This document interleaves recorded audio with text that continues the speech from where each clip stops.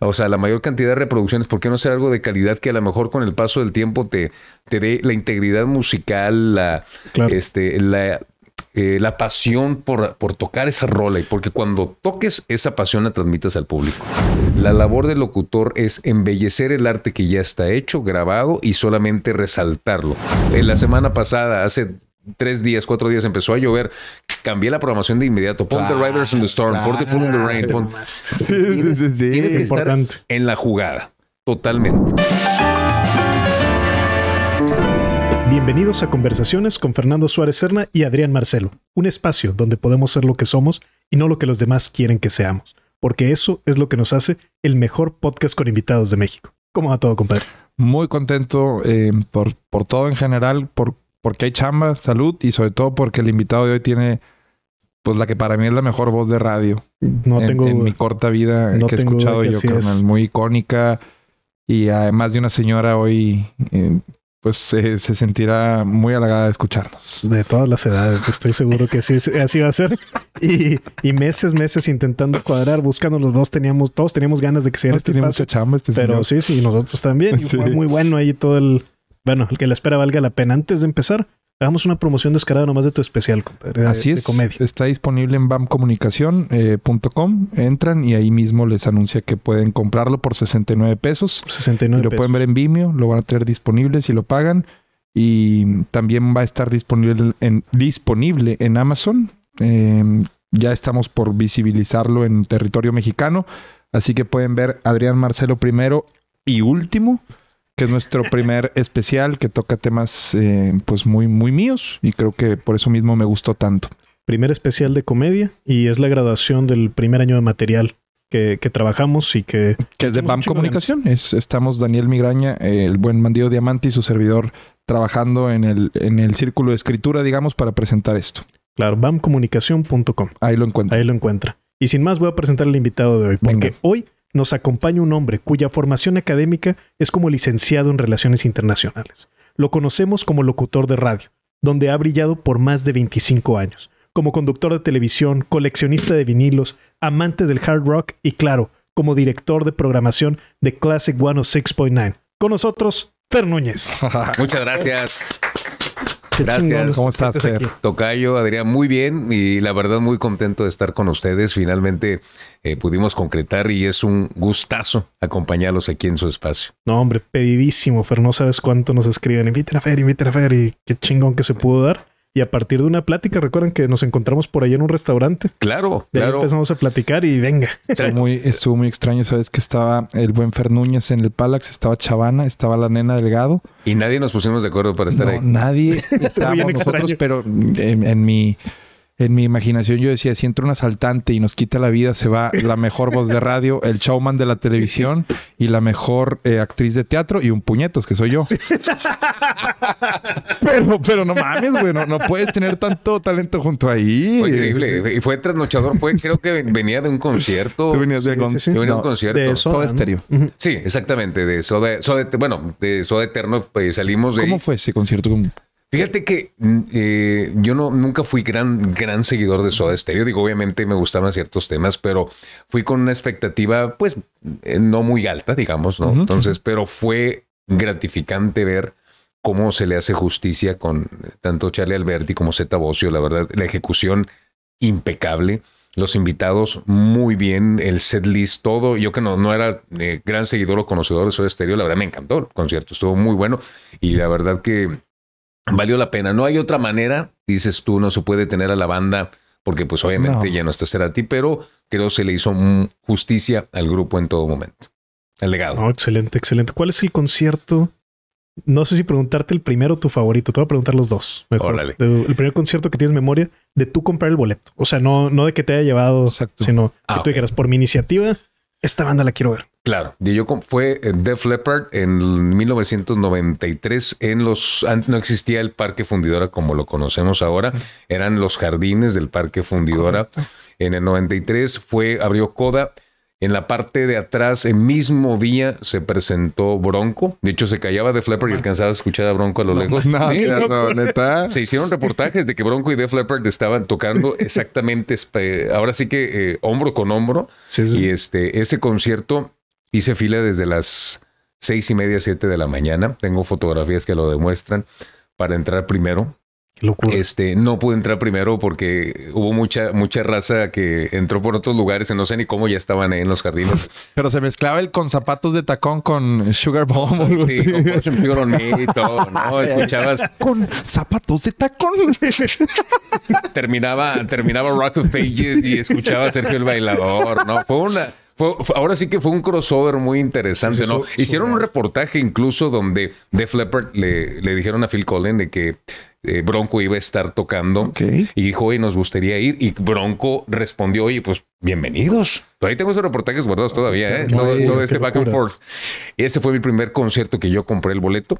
Fui, lo disfruté. Nunca había tenido tanta sed en mi vida porque no me previne y no tomé agua en todo el día. Y para cuando y fui tirando el tequila, perdón. No pasa nada, no No pasa nota. nada, mi perro. No pasa nada. ayudas Este, y, y ese día, este, pero disfruté mucho el concierto. ¿Cuánta gente había?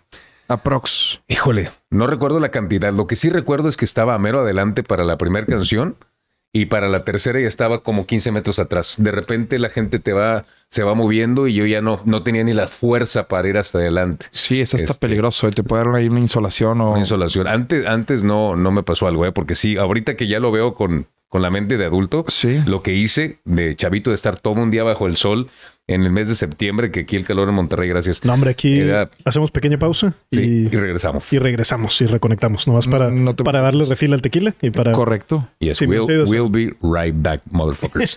Ah. Ahí está, ya vamos a servirle su Don Julio 70 el buen. Mira, nada Listo. No, aquí no pasó nada. Eh, aquí Ya, no sí, pasó absolutamente, nada. Ah, es que fui mesero. Eh, sí, ¿en serio? Sí, sí. Pásamelo por acá, carnal. Hay que recoger doliéndole. Gracias. Eso sí. Gracias. Ya, listo, listo. Creo que no. hay, hay una disculpa. No hombre, nada. ¿cuál, cuál? ¿Dónde fuiste mesero, compadre? En el. Smile Burger. De hecho, ahí si me sirven uno también. Aprovechamos la pausa comercial y. Vamos a servir al buen bandido. Y... Fui, fui, fui por bien poquito, porque luego, lo- luego, luego me mandaron a- al bar. Sí, ahí hay otros, ¿eh? pero si no. Este compadre, no pasa nada. Ahí va, bandito. Con madre el nickname de bandido. Está chingón. Corazón, corazón malherido. Corazón, corazón, corazón, malherido. No, es una gran canción. mejor esa que la de. la de Te atraparé. Bandido. Siempre me la dice. Ah, la madre, la de Ana Bárbara. Ana Bárbara. Ana Bárbara, sí, sí. ¿El bandido es original de Miguel Bosé o la cantaba alguien más? No sé, Sí, es de Yo creo que es de Bosé. Sí, es de Miguel pero Bosé. yo es de, Bosé. Sí. Gracias, hermano. No, Listo. hombre, pues aquí. eh, listo, ¿verdad? Listo, ahí lo. Reconectamos aquí la realidad y brindamos. Brindamos salud. Aquí, aprovechamos la pausa. Salud. Qué bueno que viniste, compadre. Gracias, compadre. Gracias por la invitación. Mm. Y Def Leppard se entregó a todísima madre que A todísima madre. Eh, fue la, una gira que creo que se llamaba Seven Week Tour. No, no recuerdo cuál era la gira, pero es la primera vez que, que yo veía la banda, que yo la seguía desde, desde chavo. Fue el primer grupo del que como me compraron un disco, ¿no? Y este, y disfruté muchísimo el concierto. No sentí que no comí, que, que no tomé agua todo el día. Sobreviviste. Sobreviví. Es una locura, o sea, ni, ni, ni de chiste lo volvería a hacer, pero, o sea, una cosa así estar todo un día esperando un concierto. Yo te quiero preguntar porque te vi en podcast con el buen Fernando Lozano, que le mandamos un abrazo, un gran Tocayo. podcast que tiene en su espacio, pero vi por ahí que, por ejemplo, tú a los siete años ya le hablabas al radio pedir canciones de Def Leppard. Ujú. Y de muchas otras bandas. Ajá, pero ¿de dónde viene, pues, esta, como, de dónde viene esta información, güey? O sea, yo a los siete años, pues, imposible que supiera que Sí, existía. Def Leppard. Era, era eh, el gusto por la música desde chavo, desde niño. Siempre en mi caso hubo mucha música.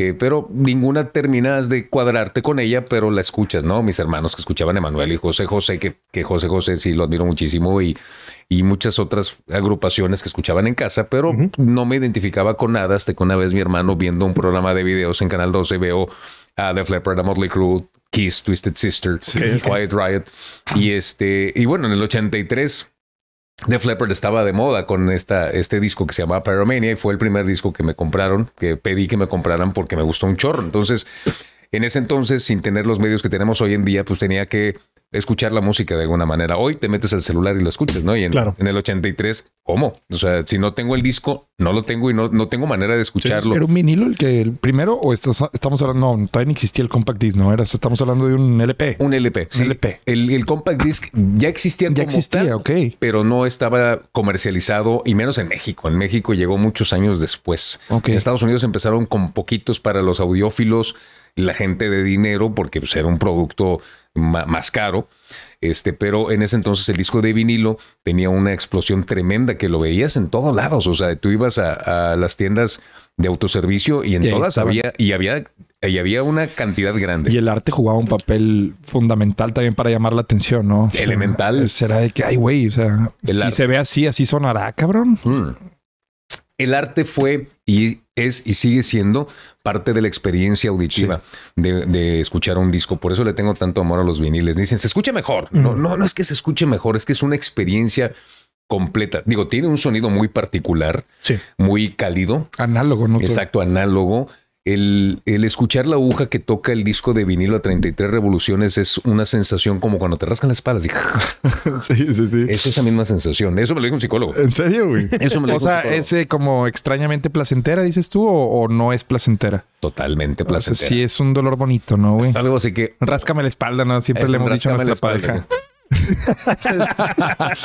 y, y de eso también, ese gusto por, por ese sonido tan fiel, digamos, eh, desde chico también te cautiva. Totalmente. Desde que, ay, güey, aquí hay algo, cabrón. Aquí hay algo y esa experiencia que eh, hoy en día pues tenemos tantos factores de distracción por todos Muy lados. Hiperestimulados estamos. y, y no estamos en un mismo sitio o concentrados en una misma cosa por mucho tiempo, ¿no?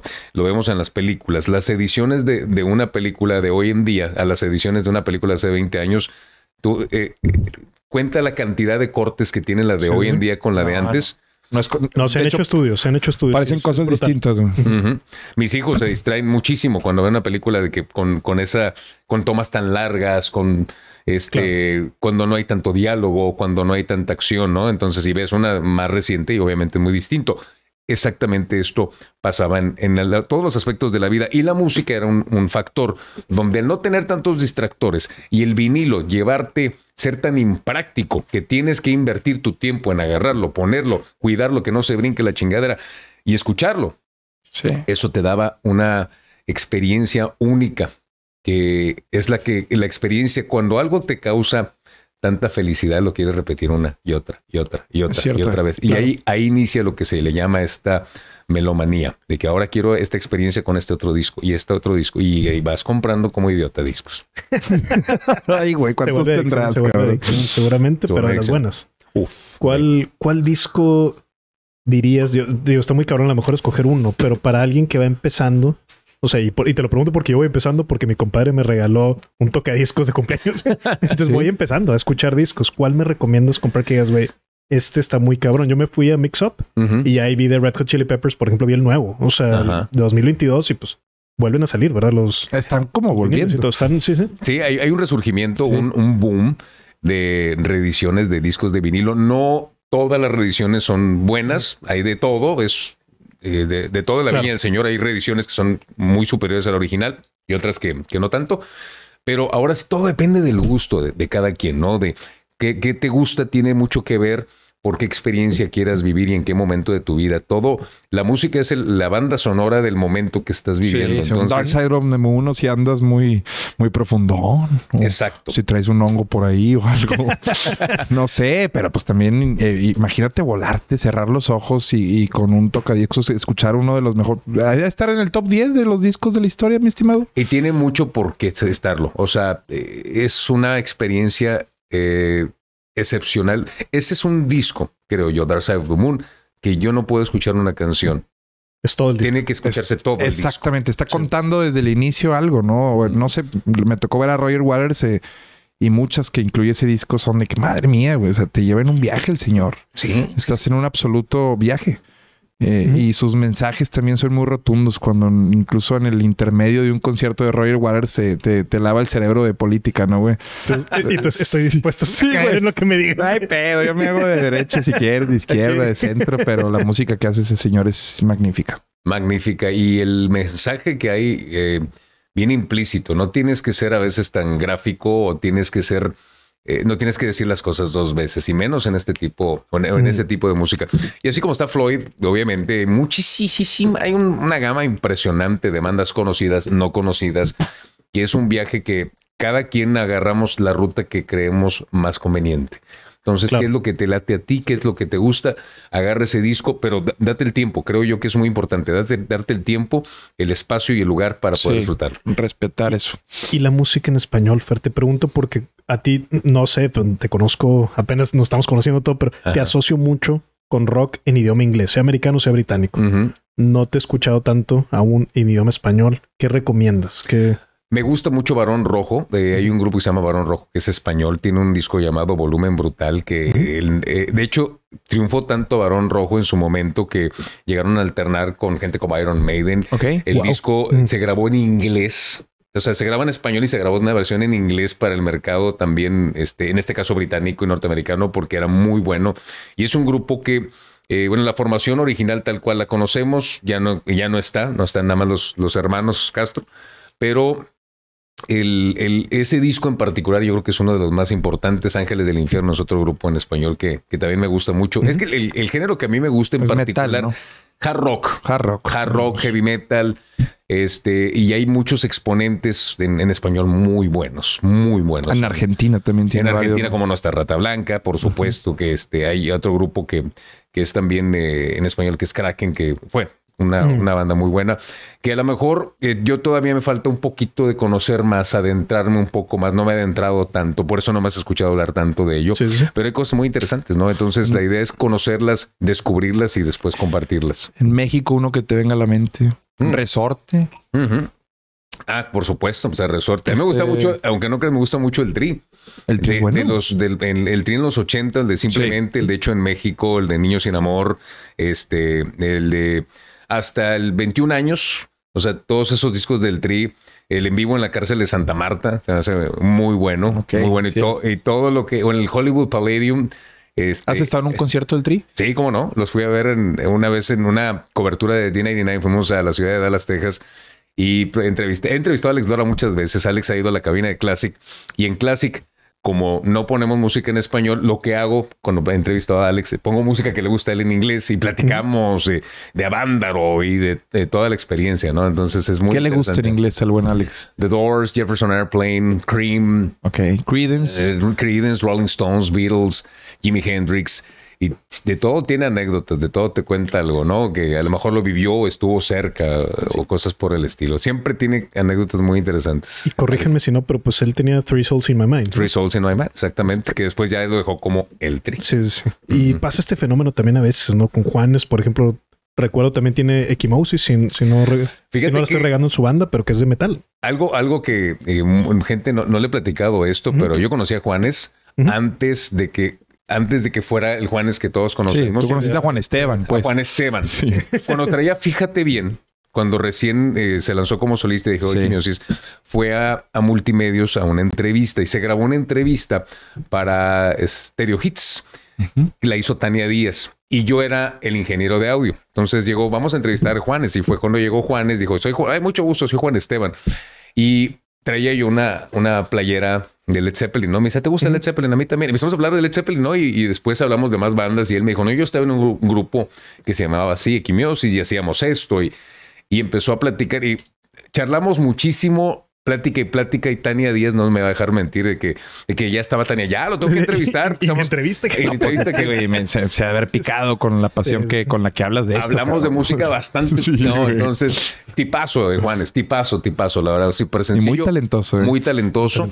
Y este, y me acuerdo muy bien ya después de que triunfó y después de que hizo un concierto de tocó un tema de Metallica y luego Metallica le hizo eh, un como que un semi homenaje, le entregó un premio y todo. Y dije, ¿qué, Qué, qué, chingón que te pase eso, ¿no? Qué padre, ¿no? que un grupo que admiras tanto ahora reconozca tu trabajo. Y es que, si no me equivoco, muchos el amor o lo que los acerca a la música, sí es esa estridencia que presenta a veces el, hard rock o el heavy metal, pero después también la misma industria los convierte en algo que sea más funcional. Eh, en ese sentido, mi pregunta es, ¿qué tanto mercado, cultura hay para consumir este género en México, a diferencia de Estados Unidos? ¿Crees que hay como más avance en cuestión de si tocas esto hay más forma de monetizar. Aquí en México, no sé, también es un país muy conservador y ese tipo de música, no sé si a veces atenta un poquito contra el costumbrismo y la religión aquí. O sea, ¿cómo ves? ¿O si crees que hay terreno para crecer igual aquí que allá? Eh, siempre ha sido para el rock aquí, eh, desde toda la vida, he contado desde los 80, ¿no? Las bandas que surgieron en, en este caso, tanto aquí en, en Monterrey, que hubo, hubo, varias agrupaciones de muchos estilos, ¿no? Desde bandas de metal extremo como Mortuario, Toxodet, ¿no? Que se querían abrir paso ante un mercado pues muy difícil, a veces incluso este, casi nulo en algunas partes, ¿no? Pero siempre había una escena que seguía estas bandas. Ah, muchas gracias, ahí te va. Y otras bandas de, de, rock en tu idioma que, que, estuvieron en su momento, Faces, La Corte y, y otros grupos que se abrían camino. Pues el rock siempre ha sido un, y la, la, gente que lo, que lo ejecuta sabe que es complicado, es difícil. Estamos en un, en un país el que consume otros géneros y que creció con otros géneros y con otra ideología y que a veces eh, el rock sí, en su momento satanizado, si tú quieres, este, la estridencia tiene mucho que ver, ¿no? La gente pues quiere escuchar algo para bailar. Hay gente que el decibel no, no soporta que esté tan alto, o sea, eso es justamente lo que lo aleja del rock, pero te pierdes de mucho, cabrón. Te pierdes de mucho. Es que el decibel le da un plus. Sí, eh, sí es lo que es. Eh, te da ese, ese, este extra push ahí, ¿no? Este, pero sí, nuestro país siempre, siempre ha tenido esa característica, ¿no? Que eh, hay demasiadas eh, cuestiones que, que le, le, le, quitan y los grupos batallan muchísimo. Sí, muchísimo, muchísimo, muchísimo. Terminan tocando otra cosa porque dices. Ah, sí, se hacen versátiles ahí en el Irish pop eh, de moda. pasó, ¿te acuerdas en, Tampico que nos llevaron una banda regional? O sea, así de, de, corridos. Sí. Y era un, era un metalero, evidentemente. O sea, traía el, pelo, el pelo largo. Ah, sí, cierto. Y tocaba como metalero la guitarra y era bien impresionante verlo porque la parte cantada él la requinteaba en la guitarra. O sea, no, no, no. Una cosa así. Y era un güey que evidentemente estaba haciendo algo que. Sí, sí, pues sí le gusta. Estás tocando tu instrumento, pero no estás tocando el género que te gusta, güey. Se veía que era un güey que sí, al chile sí prefería estar tocando cualquier otra cosa, güey. Pero tocaba impresionante. Muy bien, güey. Se nota ahí su, su vena. No, no, se me olvida eso, güey. Que... Y, y otra cosa, Fer, también, porque ahorita me gustó lo que decías de que todavía no me dentro tanto. Estoy... Y me gusta a mí esa actitud de hay que seguir descubriendo música. Algo Totalmente. Que, creo que, y a mí me pasa un chingo, es que digo, oye, sigo escuchando un chingo de la música que escucho, era la que me gustaba cuando tenía 15 años.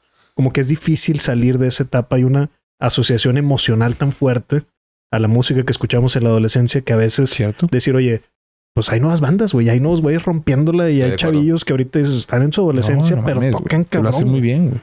Entonces, ¿cómo ¿Cómo descubres nueva música? Aunque suene rara la pregunta, no sé si... A, veces, vilmente, un random de repente en, las plataformas. Yo, por ejemplo, yo no uso Spotify, yo uso escucho Tidal, que tiene un poquito mayor calidad, que soy muy requisitoso yo con el tema de la calidad. Y, y, mejor remuneración para los artistas. Exactamente. También en Tidal, que en Spotify es... Y es otra cosa, ¿no? Entonces... Y de repente, a ver, este grupo, a ver a qué suena, ¿no? Y, y, a veces random, ¿no? Playlist y me, aparece de todo, ¿no?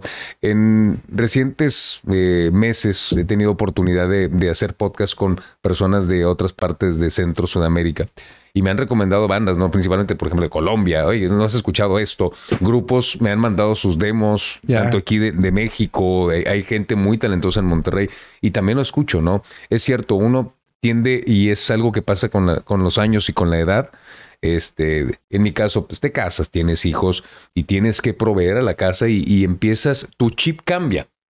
Cambia tu chip de, juventud, de estar haciendo lo que tú quieres, a, hacer lo que tienes que hacer para, para sobrellevar una vida, ¿no? Para poder darle este sustento, casa, educación a, a, una familia. Y este, y eso hace sin querer que, este, como que las cosas que hiciste de, chavo, o sea, en este caso la música que escuchaste es la que sigues escuchando, ¿no? Entonces, es un fenómeno que yo, yo también no quiero que me pase. Obviamente me encanta todo lo que he escuchado toda mi vida, con lo que me he identificado, pero siempre estoy abierto a escuchar material nuevo en todos los idiomas posibles y este y me encuentro cosas muy interesantes. O sea, pero, ¿será posible emular una sensación de cuando viste una banda? No te hablo de por primera vez, sino en una etapa en la que eras más susceptible a esos estímulos que hoy. O sea, hoy en vivo tú puedes ver algo que te sorprende o ya has vivido tanto que dices tú, ya, o sea, em, realmente mi vara de medición de felicidad cuando estoy viendo esto ya, ya, ya es la que tuve cuando era joven. O te permites, te permites como abrirte al punto en donde disfrutas más ahorita. Mira, yo creo que estamos en una etapa donde hay que darle oportunidad a, muchas otras bandas de, de, que ocupen ese espacio, ¿no? Pero también esas bandas tienen que hacer su trabajo, ¿no? O sea, un grupo no me puede gustar nada más porque es nuevo y porque trae una propuesta. Hay una conexión que hace la banda. A veces la banda, muchos de los grupos que yo escucho de toda la vida no necesariamente son los mejores músicos, no necesariamente son los más experimentados, pero son los que supieron conectar conmigo y con muchas otras personas en su momento por muchas situaciones. Contexto. El contexto. Y, ¿sabes qué es? La actitud.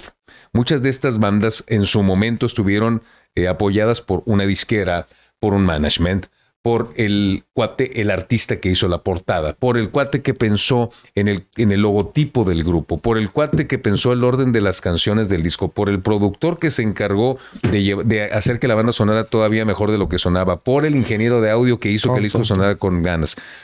Todo esto era cuando se compraban los discos y se generaba un ingreso para poder pagarle a todas esas personas y también a un director de video que pudiera hacer un videoclip para que saliera en un canal de video y ese video lo pudieras ver y enamorarte del grupo. Ya no existe eso. Nada de eso. porque están las plataformas que obtienes la música gratis, que es, eh, es un arma de dos filos. Sí, las bandas están expuestas eh, muy fácil. Tú subes tu canción y ahí está. Pero no tienes todo ese, e, ese expertise porque había... El rigor. El rigor. Un productor, un productor que ahorita una banda saca una canción y dice, ahí está bien, ahí suena bien, órale, dale, la que sigue. Y el productor era, no, espérame. Robert John Motlang. Eh, Ray Thomas Baker de Queen. Este. ¿quién, ¿Quién más? Este, Bob Rock, Bruce Fairbairn. Todos estos productores lo que hacían a las bandas, no, güey, estás tocando de la chingada, tienes que volver a hacer esto. Oye, es que está, no, no está bien, está mal por esto, esto y esto. El productor eh, Dieter Dierks de The Scorpions, la canción de Rocky Like a Hurricane originalmente iba. Dice, no, güey, le dice a, Rudolf Schenker, tienes que hacer un corte. Esa es la labor de un productor. Qué Darle ese, ese toque. Y eso lo, eso, eso lo dijo en una entrevista el productor. Esos productores, eh, obviamente, estaban pagados por una disquera que tenía el dinero para pagarle a ese productor porque vendía discos de ese grupo. Como ya no está todo eso, eso ha hecho que muchas bandas hoy por hoy ya no puedan prosperar porque hacen canciones que son muy buenas, pero tal vez pudieron ser mejores. y la oferta también se vuelve débil. Sí, no lo decía hay mucho contenido barato. Cierto, cierto, no lo decía de su forma millonario, ¿de acuerdo? Sí. Que cuando él grababa solo y cuando pasó a grabar a Babilonia, que el rigor del productor era lo que... Es que eso es todo. Lo que lo levantó al nivel que... ¿Cómo entrenas eh, mejor en el gimnasio? ¿Tú solo con, cuando estás con el coach? No, no, definitivamente funcionales, tenis, todo lo que entrenes. El coach que está, haciendo Cristos. No, no, espérame, es así. exacto, focalízame, que sientas ahí donde se atrofia esa parte. Y creo que también en la música ese, esa reflexión que das es, es bellísima porque se ha perdido mucho eso. Claro, y un buen productor que está de sobra, a lo mejor decirlo, pero a ver, también hay unos hijos de puta que, no, no la libras, ¿verdad? Pero un buen productor te Que Flip también nos decía, los viernes Spotify avienta cinco mil canciones de rock. Hazte garras, o sea, hazte garras a ver cuál, porque no va a ser la necesariamente la de mejor calidad la que se empiece a ser conocida, sino si la borregada va por una, esa es la que te va a aventar el algoritmo. O sea, ya también es una es un tema cuantitativo. Muchos éxitos vienen de TikTok. Eh, Exacto. y, el, tema cuantitativo se va por encima del tema de la calidad a veces, del cualitativo. ¿Qué es lo que, que creo yo una analogía? De a lo mejor de cualquier tipo de, de, publicación en cualquier red social. De, te pongo un ejemplo de una chica que está mostrando un atributo y pone un pensamiento. ¿Quién lee el pensamiento? No, no, no, güey. Ya estás en la puñeta, güey. sí, sí, yo no me voy con esas cosas. a que voy. Y esta misma analogía va con los grupos, de que tiene que pegar y tenemos que tener la mayor cantidad de likes. La mayor cantidad de likes a costa de qué? O sea, la mayor cantidad de reproducciones, ¿por qué no ser algo de calidad que a lo mejor con el paso del tiempo te, te dé la integridad musical, la, este, la, eh, la pasión por, por, tocar esa rola? Y porque cuando toques esa pasión la transmitas al público. Pero se hace con Big Data la música también hoy. O sea, para empezar, sí, sí, cuatro minutos. Y si dura 3.26 y si no los agarras en los siete segundos, Pink Floyd le hubieras dicho que no podía durar nueve minutos Mother Pues, cabrón, nos perdemos de una pinche joya. Doc, no me digas que, o sea, ¿Te imaginas Echoes- tú Shine on You Crazy Claro, no Diamond? seas mamón. Le hubieran cortado todo el intro. Híjole, es el o, sea, un- o sea, si hubiera, si se hubiera hecho hoy en día, Shine on You Crazy Diamond, Es una recomendación. ellos.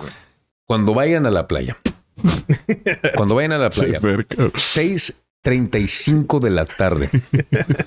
Escuchen bien lo que les voy a decir. Se van a servir un tequila doble. ya empezamos a ir. ¿Mm? En el reproductor que tengan musical. Ponen Sh- Shine on You Crazy Diamond. Caminan hacia la playa cuando empieza el- la progresión de Richard Wright. Y escuchan la guitarra de David Gilmour y cuando empieza la batería de Nick Mason, de mí se acuerdan. Si no se les eriza la piel. No, eso no mamá. Ah, no, es una ¿A cosa. ti te gusta el Pink Floyd de Sid Barrett o el post Sid Barrett? Los dos- es que el de Sid Tienen Barrett diferencias. es tiene mucha evidente. diferencia. La psicodelia de Sid En La Barrett psicodelia es brutal, güey. es brutal. O sea, yo nada más escucho y se veía en qué andaba el tipo, ¿no? se veía que andaba. Se escuchaba se en qué andaba. escuchaba que andaba. No, no necesitabas ni- ninguna sustancia para viajar. El post, la verdad, Eso- me quedo. es muy cabrón. Una droga auditiva. Se podría considerar tal vez algunas de las piezas que, que crea Pink Floyd en ese entonces. Como Exacto. drogas auditivas. Que si cierras los ojos sí te puedes ir en el viaje. Fácil, fácil. Y lo que hicieron después, yo realmente sí soy un poquito post Sid Barrett. eh, pre la salida de Waters, ya es cuando salió Waters. Bueno, The Vision Bell es una maravilla, la verdad también. Este, me, me encanta todo Pink Floyd, pero el de, el de Sid Barrett en este caso, o sea, la- lo que hizo con, con Sid, Sid era el líder del grupo. Sí, sí, sí, o sea, él, él decidía muchas cosas y cuando se fue al viaje y no regresó, no, o sea, ese fue un way ticket y jamás volvió, se subió y nunca, nunca volvió a Nunca bajar bajó, nunca bajó. nunca bajó donde andaba, pues ya se, Waters tuvo que tomar las riendas en ese momento y la cosa cambió, pero eh, creo yo que para bien. Yo creo Sí. que, y lo digo con todo el debido respeto, si hubiera que se hubiera quedado este Sid Barrett, no hubieran hecho Side No pasa. No como pasa lo lo que conocemos. No pasa lo que pasó. Y hablando de ti como músico, Rip Off, quiero que nos platiques un poco de tu banda. Acaban de tocar, vi Sí. que les fue muy bien. Mm, Gracias a tu foto ahí, captán madre, así disfrutando el momento. Amo Platícanos un disfrutar. poquito. Disfruto mucho la vida tocando la, la batería. No, no soy baterista profesional. Es fecha que tomo clases. Ah, Yo diría, yo digo, ¿alguna vez cubriste a un cabrón de un grupazo que faltó? No, güey. que al rato nos la cuentas, pero te salió. Un grupillo por ahí. Sí, un grupillo. grupillo. por ahí. Eh, el, el rip-off salió eh, cuando ya este, recién este, me casé, eh, tuve hijos, me, dejé, me alejé de los grupos. Este tema de los grupos pues fue de, de juventud, ¿no? Tuve una banda que se llama Antisepsia, donde estuve tocando en los noventas. Qué buena hombre. Este, sí, güey. Y tocamos, En, de- tocamos en Desvelados dos veces cuando estaba en Canal 2, güey. Ok, ok. Y ahí tengo el video de la primera O sea, vez. no estaba tan amateur, ¿no? O sea, ya para tocar en desvelados es que ya traían. No, lo que pasa es que Desvelados este, buscaba bandas Daba la oportunidad. Sí, sí, sí. Ah, eh, mis respetos, porque buscaba que no habían escuchado. Rosy Pachicano nos habló y me dice, oye, tú tienes un... me dio- no sé cómo dio con mi teléfono, tú eres baterista de un grupo que se llama Antisepsia, pueden tocar en Desvelados la otra semana.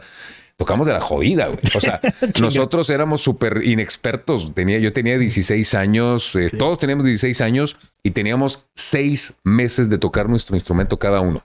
O sea, vamos a hacer un grupo y vamos a Nos tra- aprender traían más ganas que talento, digamos. mil veces. Te das de cuenta que era casi un grupo punk por el sí. tema de, de que no teníamos nada de instrucción musical. Yo ni sabía agarrar las baquetas, con esto digo todo, no sabía tocar, no nada, nada, todavía. Este, entonces eh, tocamos en Desvelados, fue muy divertido, pero los do- dos integrantes del grupo querían seguirle, pero yo me, me fui al mundo de la locución y todo esto, y ellos le siguieron, tuvieron un grupo que ya fue mucho más profesional. Dimais, yo me alejé de la música, Tuve un, un par de años con otra banda de un buen amigo que me invitó cuando estaba yo recién casado. Mis hijos estaban eh, recién nacidos. Bueno, mi hijo más grande estaba recién nacido.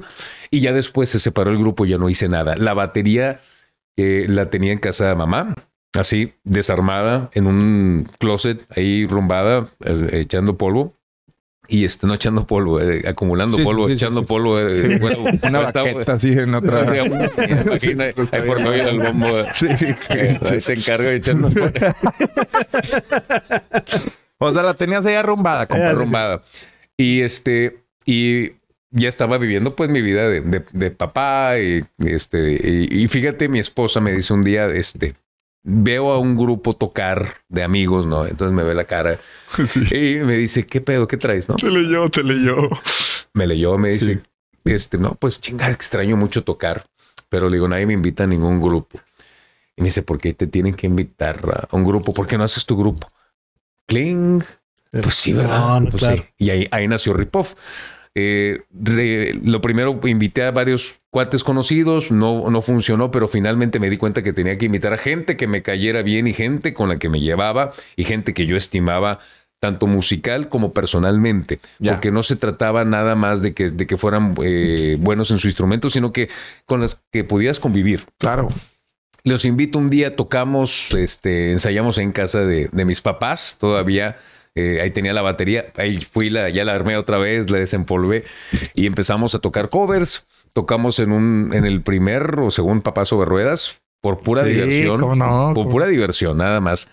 Y de ahí ¿En el nos- Palacio Sultán eh, fue afuera o no? Fue en ¿Dónde la- fue el primer? No, sí en fue el Volcán Music Hall. el Volcán Music Hall. El Sí, Volcán ya, Music ya Hall. tienen rato que se hacen esos, ¿no? Ya tiene rato ese evento. Y tocó Rip, Ripoff ya con Morocco también. Sí, ¿Cómo? ya con Morocco. Ok. Ya con Morocco. Y, y, este, muy divertido. De ahí nos vieron y, oye, pues, ¿no les gustaría tocar aquí y, en un evento de motos y en otro evento y aquí en el Café Iguana? Y, y Y el setlist, nada más como para especificar más, o sea, que Deep Purple, eh, Rob Zombie, o sea, de todo ese pedo. hard rock y heavy metal que nos gustara a todos y que... Motley Crue, exacto. todo, güey. Hombre, Era- güey, qué chulada. Madre. La idea es divertirnos. Si no, si no, en rip-off, si no te diviertes, no se toca. Punto. Tenemos que divertirnos tocando. No tocamos por lo que se llama hueseo. Tocamos porque nos gusta. El hueseo es cuando ¿Qué es tocas el por hueseo? eh, cuando eres músico huesero que tocas porque le gusta a la gente. Ah, que, se, que se prenda, ¿no? Ahí les va la planta y ahí les va. Ya, ya, ¿Me ya, explico? ya, güey. Es- Eh, eso. Y nosotros no. O sea, no, no. mm, La intención es de que poder divertirnos nosotros y que la gente se divierta con lo que estamos tocando, ¿no? A lo mejor eh, no somos los músicos profesionales de sesión, de estudio ni nada, pero lo que hacemos lo hacemos con mucho gusto. No, extraordinario, extraordinario. Sí, me, me encantaría. Van a tocar pronto también. Exactamente. Entonces, para ir a verlos. En diciembre, eh, si todo sale en orden, vamos a tocar en, en- en un foro muy conocido ahí el 17 de diciembre. Están todos invitados. Perfecto. Ya Este, fecha. 17 de diciembre, hoy eh, me confirmaron que se cerró la fecha. Este, esperemos que todo siga en orden y ya estaremos el 17 Ahí lo diciembre. estarás anunciando en tus redes sociales también. Sí, señor. Eh, pero, mm, eh, por ejemplo, ¿cómo te diviertes? O sea, digo, entiendo lo que es divertirse, pero si puedes, güey, o sea, entiendo cuando alguien hace algo con pasión de que, ah, sí, te diviertes jugando, pero por ejemplo, yo juego tenis, me encanta. Y creo que cuando hablas de lo que haces, me identifico con la pasión con la que yo podría jugar tal vez. Pero divertirme, pues sí entiendo. Pero es dar lugar a improvisación, o sea, es más relajado. ¿Cómo te diviertes tocando con rip-off? Al principio, cuando sacas una, una canción, o sea, cuando nos comprometemos a sacar una canción, pues vas y la escuchas una y otra vez y empiezas a ensayar. Y al principio hay temas que tienen su grado de complejidad, ¿no? Y más para músicos amateurs, en mi caso, ¿no? Que, que, pues no, no soy estudiado, estoy estudiando ahorita, pero que no soy profesional de toda la vida. Entonces, ah, caray, ¿cómo se, cómo se hace esto, no? Buscando tutoriales. Pero ese es el proceso que lo hace divertido, Ya, ¿no? ya. La idea Claro. es que te cases con la canción al grado de que cuando ya la toques lo hagas natural y, y te diviertas tocando porque te gusta la canción y la reacción de la gente con la canción es lo que hace el, ya, ya. el match click. perfecto. el ¿Tú click. cantas a veces, Fer? No, ¿No, tienes algún micrófono para...? Hay bateristas de bandas de hard rock que sí en ocasiones tienen su, sus partes, ¿no? Sí, también y también vo- vocales, Eh, pero no necesariamente. eh, mira, hay vocalistas, bateristas muy famosos, Don Henley de Eagles, por ejemplo, que a lo mejor más del rock sureño, pero Don Henley de Eagles, él toca la batería y canta y es un ejemplo. Pues aquí Mana, exactamente. el- sí. Claro. el famoso Alex, El ¿no? Alex, El exactamente. Alex. también, que es un ejemplo. Que Alex, por ejemplo, digo, ha dado eh, su grado de complejidad como baterista y luego te voy a cantar mi respeto. Sí. Está bien. Es cansadísimo, güey. Cansadísimo. Debe ser una locura hasta, el- hasta el nivel aire. pulmonar, güey. Sí, Eh, exacto. Es que deja tú, güey. O sea, es como boxear, güey. Pues todo el tiempo estás así. O sea, en, en un concierto de tres horas, un baterista es el que más sale cansado. Debe ser, debe ser. Debe sí. ser, ¿no? Incluso hasta más que el vocalista, tal vez, güey. Sí, y el que tiene que desarmar la batería. Échenle mano a los bateristas, hijos de la verga. El, el otro día platicábamos, Adrián y yo, de. Era así duda, plática así de, de la terraza, sin ni- ninguna cuestión más allá de la plática misma.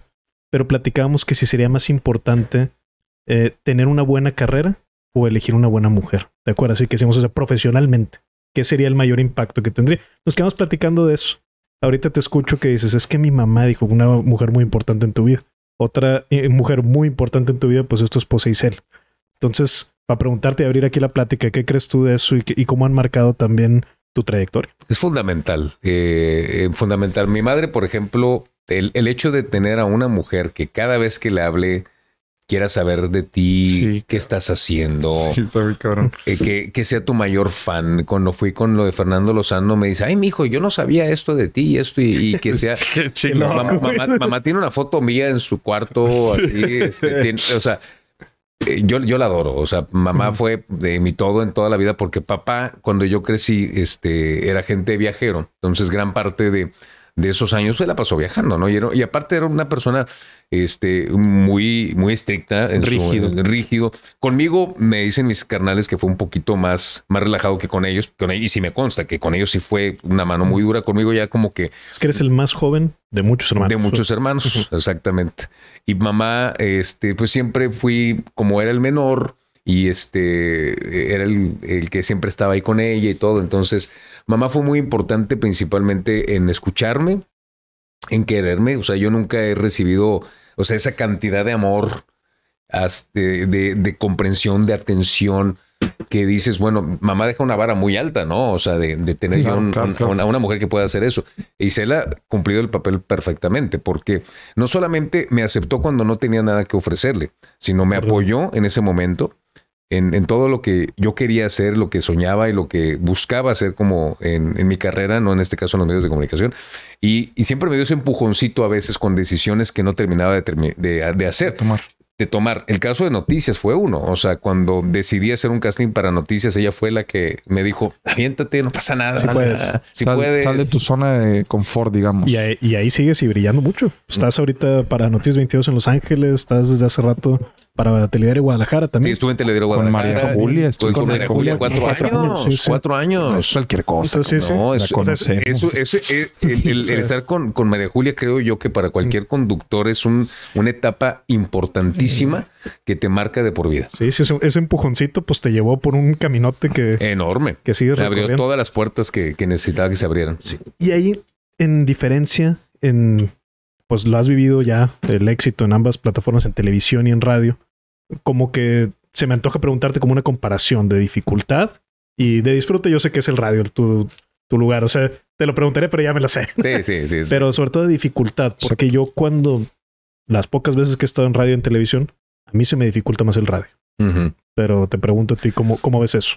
Mira, la radio para mí es, es mi segunda casa. Eh, adoro hacer radio porque no tienes que verte de una manera, ni tienes que posar de una manera, ni tienes que cuidar la luz, ni tienes que cuidar nada, ¿no? Entonces, radio es, abres el micrófono y dale, ¿no? Siento como, como que tienes que pintar la Sí. señal radiofónica, Y tienes que cubrirla. Con el factor de imaginación se vuelve también complicado. O sea, que la gente se está imaginando lo que dices. Y si eres bueno construyéndole imágenes o, o visiones en la mente, pues te vuelves un maestro. A mí me encanta lo que haces en radio porque las canciones me saben diferentes con el contexto que les das. Y tienes un arte para pisar, pues lo que le llaman pisar la pista. Que eso se estila mucho. No sé si también sea una señal bajada de dirección de Grupo Multimedia Radio pero no se estila mucho hablar antes de la canción y luego ya empezarla. Se estila mucho que, y sobre todo en el rock, como son pistas largas, Ajá. y Fer que en 33, 19 segundos, 24 segundos tenga la capacidad de encuadrar un dato que siempre suma, me parece sublime. O sea, y, la neta es que una de Guns N' Roses no te sabe igual cuando te dicen que Axel estaba en este pedo, cuando la hizo, qué pedo. Claro. y, y que Slash esto, y de pronto de Billy Joel me hablas. O sea, es, es algo muy, muy cabrón lo que haces y se nota la pasión. Es que pero, pero felicidades por eso, cabrón. Muchas gracias, Adrián. Muchas gracias. Eh, crecí escuchando locutores que, que tenían esa habilidad y tuve muy buenos maestros para, para hacer esa habilidad. Cuando no tenías una máquina que te dijera cuánto intro hay de la canción. Entonces, el, el hecho de poder construir alrededor de una canción, la labor del locutor, que dicen, ah, es que siempre le quitaba porque el locutor hablaba encima, pero es hacer un pequeño arte dentro del arte. Exactamente. No se trata de hablar a lo, a lo No, no, no. Ojo ahí, eh, sí, es, es No importante. se trata, creo yo que el locutor Eh, la labor no es dar hora y temperatura. La labor del locutor es embellecer el arte que ya está hecho, grabado y solamente resaltarlo. Resaltar los elementos que en la vida cotidiana no pudiéramos escuchar. Te voy a poner un ejemplo. Va empezando X tema de, The Doors, LA Woman. Empieza. Y los señoras y señores, vámonos a 1971. ya se me paró, ya se me paró. Ah, déjame la cámara, güey. Chinga. No, no, no vamos a le pone, perdóname, perdóname. Perdóname, perdóname. Ahora, OnlyFans, güey. es que, güey, eh, estoy ahora con, con la pura voz podría tener capacidad de hacer que chicas no, no, y, perdón, pero yo sé que es un tema que no es serio y no debemos sacar aquí, pero lo voy a sacar, güey. Pero veo tu contenido, güey, y es impresionante la cantidad de chavas, de nota chavas, de, o sea, que te firman, firman y firman, que es que tu voz pues es de sex symbol. Pero dale, lo que vas a hacer, lo que vas a hacer. Lo de Doors. Ah, lo, de Doors, LA Woman. Este, les voy a, si no conocen la canción, bueno, tengan oportunidad de escucharla después. La canción empieza con, con un intro así como que de, de, varios, de varios efectos que hizo el ingeniero de audio. Y de repente a lo lejos se escucha el teclado de Rayman Sarek. Y luego se escucha el right symbol, el platillo de, de Ray de, de este John Denver. Y el, bajista, que era el bajista de Elvis Presley, que tocó en el disco de los Doors. Doors no tenía bajista, pero en el estudio sí necesitaban un bajista. Entonces ahí tocó el bajista de Elvis Presley. Y empiezo yo, ahí está el bajista. Y empieza la tarola de John, de John Desmond. La guitarra de Robbie Krieger. Ahí ya tengo tu atención. Sí, claro. Bien, cabrón. Y empieza la canción, empieza y sigue la canción. Y yo en ese sé que tengo una laguna hasta que cante Jim Morrison de 20 segundos. 1971, la última producción que hizo Doors antes de que James Douglas Morrison, el rey lagarto, volara a París, Francia, para dormir un 3 de julio de 1971 y nunca despertar. Pamela Curson Murió al año siguiente. Nunca se supo qué realmente pasó. Pero señoras y señores, presentamos aquí en Radiografía al único y auténtico rey lagarto, James Douglas Morrison. Y empieza a cantar Jim. bueno, bueno, bueno, bueno. No, no, pues sí, sí. Te digo que no es lo mismo escuchar nada más que te suelten a, a eso, cabrón. Y sobre todo también tienes un tema, no sé si es de memoria fotográfica con los nombres. Eh, lo te sale natural, güey, que aprenderte tanto los nombres de los grupos porque dominas también prácticamente a los integrantes y sus nombres completos. Sabes que de, grupos que me gustan, sí. De, bandas que me gustan, que colecciono, porque soy un apasionado de, ver documentales de, de, todas esas bandas, ¿no? Entonces, escucha los nombres una y otra vez y se te quedan, ¿no? Y se te quedan datos precisos que tú puedes explicar. No quiere decir que me sé todo de todos, porque hay muchas bandas que no conozco tanto, obviamente, pero no pensar eso. Pero e, e, esta sensación, yo cada vez que veo un documental y aprendo un dato nuevo, digo, mañana lo tengo que decir. ya lo traigo. y se te queda más grabado cuando ya lo avientas en radio, me imagino. Exacto. Y a veces pongo la canción en el carro y, y ensayo un poquito. A ver, voy a decir esto aquí, voy a decir esto acá. Porque mi única labor, y yo sé que el día que yo ya no esté aquí, es dejar una huella como locutor. Mi, mi, idea es de que cuando yo ya no esté, eh, mi trabajo siga hablando por mí, no yo. O sea, pues yo no voy a estar para decir que, que, eh, qué canción anuncié, pero decir, ah, este cabrón la anunciaba bien padre. En ese sentido, empezar un podcast, ¿no crees que se vuelve algo imperativo para que tu trabajo sea más fácil de consumir en un futuro que no estés? Tal vez sí, eh, sin duda. El tema, por ejemplo, de los podcasts es el tema de los copyrights de los temas que yo anuncio. Es cierto. Este, todos están comprometidos con un derecho de autor. Entonces, esto hace que yo no pueda anunciar lo que anunció en la radio como tal. Por eso no he salido del medio tradicional. Porque el medio tradicional todavía me da esa ventana Buen punto. De, de poder poner una canción completa y pues en la radio no me llega una notificación de que ya acabamos de bloquear tu programa de radio, ¿no? Sí, sí, sí, claro, claro. Entonces, por eso, y amo la radio tradicional. Digo, la verdad, en eso sí soy súper old fashioned, al chapado a la antigua. O sea, la radio tradicional en vivo, en directo, análoga, pum, bueno, o digital, whatever. Pero por eso poner viniles, no crean, mucha gente piensa que todo mi programa pongo discos de vinil. No, pongo uno y de vez en cuando y es una o dos canciones. Lo demás sí está en una, en una plataforma, en una consola donde está todo el, el catálogo.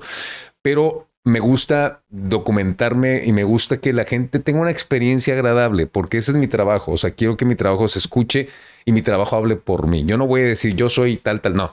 Ni soy de los locutores que yo tengo 10 mil millones de años aquí y voy a hacer, no, mejor dejo que mi trabajo hable por mí y que, que desenvolverme. Claro. En alguna ocasión a mí me tocó que alguien me dijo, no, la radio ya no va, va a necesitar locutores. La música va a quedar este, como la única eh, cosa imperativa y toral en una estación de radio. Y yo, perdón, pero la estación de radio se compone de varios elementos. Es eh, producción, es promoción y también es programación. Pero el locutor es el que te, te todo este tipo de detalles para darte una experiencia única. Y eso es lo que queremos hacer en la radio. Para mí es, es importantísimo que un locutor, cada quien tiene su estilo, todos los locutores tienen un estilo distinto. Gracias. Bueno. Este, don Julio, no, don Fernando. Don, Este, don Fernando, mi estimado. No, pues, este, y todos los locutores tienen un estilo y tienen que respetarse y, Fíjate, fíjate. y llevarlo adelante. Y los programadores, eh, por ejemplo, tú como director de programación de Classic, eh, esta pasión que tienes y sobre todo el acervo musical que posee tu cerebro, ¿te permite la función y el puesto eh, jugar con eso o te tienes que acotar a- o encuadrar a también lo que tus jefes te piden? O no sé si tengas alguien que te dice este criterio y te dice, oye, aquí te fuiste bien. Sí. Muy, muy personal o no sé. Sí, eh, no, sí ha ¿Cómo pasado. manejas eso como director? Mira, el, ya tengo como director de Classic, creo que ya voy para 10 años. Digo, creo, ahorita voy a, no, no me acuerdo de la fecha cuando empecé, pero este, todos estos años, la- los mismos años me han dado eh, el, el que sí, que no. El- la radio y la programación de la radio es como un buffet. Es un buffet, en mi caso, como una emisora como Classic, que no dependemos de lo que esté en boga, no dependemos de lo que esté de moda, sino dependemos de los clásicos. Lo único que sí tiene mucho que ver son las tendencias que se van creando con temas clásicos que tenemos en catálogo. El tema de Kate Bush, que se hizo Kate famoso Bush, por Stranger por Things, Stranger Things. es- no estaba en rotación en Classic, ya empezó en rotación en Classic por lo mismo, porque se hizo viral. Ya. No, Gees, More Than a Woman, se hizo viral en unos TikToks hace, no sé, un, año, unos meses, no me acuerdo. Y de inmediato empezamos a programarla más. Tienes que estar muy atento a eso. Eso es el- el- la clave. Y sabemos de antemano qué se puede y qué no se puede. Y ahí yo siempre he tenido duda. Por ejemplo, si tú pones en el radio esta canción de Bee Gees, a Bee Gees le cae algo de dinero, le necesitaste pedir permiso a la disquera o nomás se pone y listo porque ya es, es de dominio público. Es aquí en México, al menos, y en el catálogo de, de la- una emisora como Classic, la verdad, este, creo que hay un tema ahí con, con autores y compositores. Ah, sí, sí, claro. Con hay la una asociación. Este, pero de ahí en fuera no, no hay tema. Ese es el convenio. es el convenio, o sea, se toca porque es un tema ya eh, que de dominio público tal vez. En Estados Unidos creo que es distinto, por Sí. lo que tengo entendido. Sí, como hay más regulación. hay más regulación en ese sentido. Aquí, aquí no tanto, realmente aquí es, pues la canción se pide, se pone. Y. Aunque esté de punto MP3, tú estás del otro lado. ya está donde chinga. No, y el operador, Fer, que también Ah, he es visto que hay estaciones que manejan el locutor que se opera solo. Supongo que también le da más herramientas y conocer también el equipo, pues hace que seas más competente. Sin embargo, tal vez te puede distraer de tu función principal, que es la del pues, eh, ser locutor. Tú también hay un pues eh, información de Radio Pasillo que eh, no complicado, sino si necesitas que el operador tenga un conocimiento. Para empezar, que te entienda la canción, porque tu inglés es casi perfecto. Al menos cuando pronuncias las canciones y los grupos. O sea, que te entienda qué tienes que poner de entrada ya desde ahí. O sea, necesitas uno bilingüe. Que tenga un poco de conocimiento, pero sobre todo eh, que esté a las eh, bien abejas, sobre todo porque lo que haces en radio sí también lo haces con muchísimo eh, timing, ¿no? O sea, sí necesitas que entre la canción cuando tú la mandas. O sea, ¿cómo ha sido este proceso? Porque sé que Multimedia Radio está empezando a migrar a un formato en donde el locutor se opera solo. Exactamente. En caso de, Classic, todavía no, no hay- hemos llegado al 100% a, a ese formato, pero sí ya tenemos un entrenamiento previo para, para poder hacerlo. Eh, Yo me he operado varias veces como eh, en mi programa y es algo maravilloso. Te requiere el 100%, ¿no? Y es algo que necesitas concentración, este, necesitas estar eh, en todo, en muchas cosas a la vez, pero lo más importante es que ya tú te entiendes. Y eso es alguna una herramienta que te ayuda mucho porque sabes dónde subir el... Yo en mi caso que, que hago las presentaciones de canciones y quiero que la gente escuche algo que yo estoy hablando, le subo exactamente de lo, de que, lo que quiero que estoy hablando. Canciones que tienen intros muy con un volumen muy bajo, los decibeles muy bajos, yo les subo para que la gente alcance a escuchar, Sí. porque la experiencia de la radio es diferente a la de un disco en tu casa. O sea, la radio es un poquito más dinámica, tenemos que ser un poquito más ágiles, Sí, tenemos que sí, ligar, tenemos que luchar contra este, una pauta comercial que tenemos encima que tenemos que cumplir porque esa pauta comercial nos ayuda a estar al aire. O sea, es una cosa implícita y tenemos que llevarla a cabo. Los compromisos, obviamente, con los eh, mensajes que llegan de la de la gente. De, exacto, de la gente. Todos son muchas cosas que, que, van implícitas, pero el hecho de operarte tú solo ayuda a que se haga un poquito más rápido. Cuando tienes un buen operador de audio, que en mi caso tengo de los mejores operadores de audio que hay en la empresa en, en Classic, este, pues te entienden a la primera. Sí me ha tocado, obviamente, chavos que llegan que, oye, brother, ponte por favor a ACDC, le ponen E, I, C. Sí, sí, sí. O sea, sí, sí, sí. estás hablando de... Y, y, y, no, y digo, y no los juzgo. O sea, no, Así no es, pasa, nada, no Pero, pasa pues, nada, pero luego, brother, ACDC, ACDC, así, tal cual. ¿Cómo se llama la canción? No, es este. Y, y ¿Cómo le dice You Shook Me on Melon? Sí, sí, sí. Y-O-U. Sí, Sí, sí, O sea, un tema así, güey. Eh, y eso hace que sea un poquito eh, más lento el proceso. Y cuando tienes un operador de audio, en este caso, que, que tiene todavía áreas de aprendizaje por, por todavía comprender, pues tienes que prepararte un poquito antes. Una Claro. de, las, de los comunes denominadores que tenemos ver los locutores de clase que es que muchas cosas las hacemos sobre la marcha. Tenemos una programación, pero a veces el, el feel del programa lo vas llevando sobre la marcha. O sea, eh, a veces es como los mismos corredores de la Fórmula 1. A veces vas así, ah, mejor si me voy por Sí. acá, voy a, a rebasar más rápido. No puedo trazar el programa desde antes. Haces un plan, pero a veces lo que sale al aire es completamente distinto Claro. porque el mismo mood en la semana pasada, hace tres días, cuatro días, empezó a llover. Cambié la programación de inmediato. Ponte Claro, Riders in the Storm, ponte Full in the Rain. pon- Tienes- Sí, tienes que estar Importante. en la jugada. Totalmente. No, me qué chulada. Y por ahí, Fer, también preguntarte, porque quiero hacer como un símil lo que decíamos hace rato. Y es que antes el productor y la rigidez era buena para la música.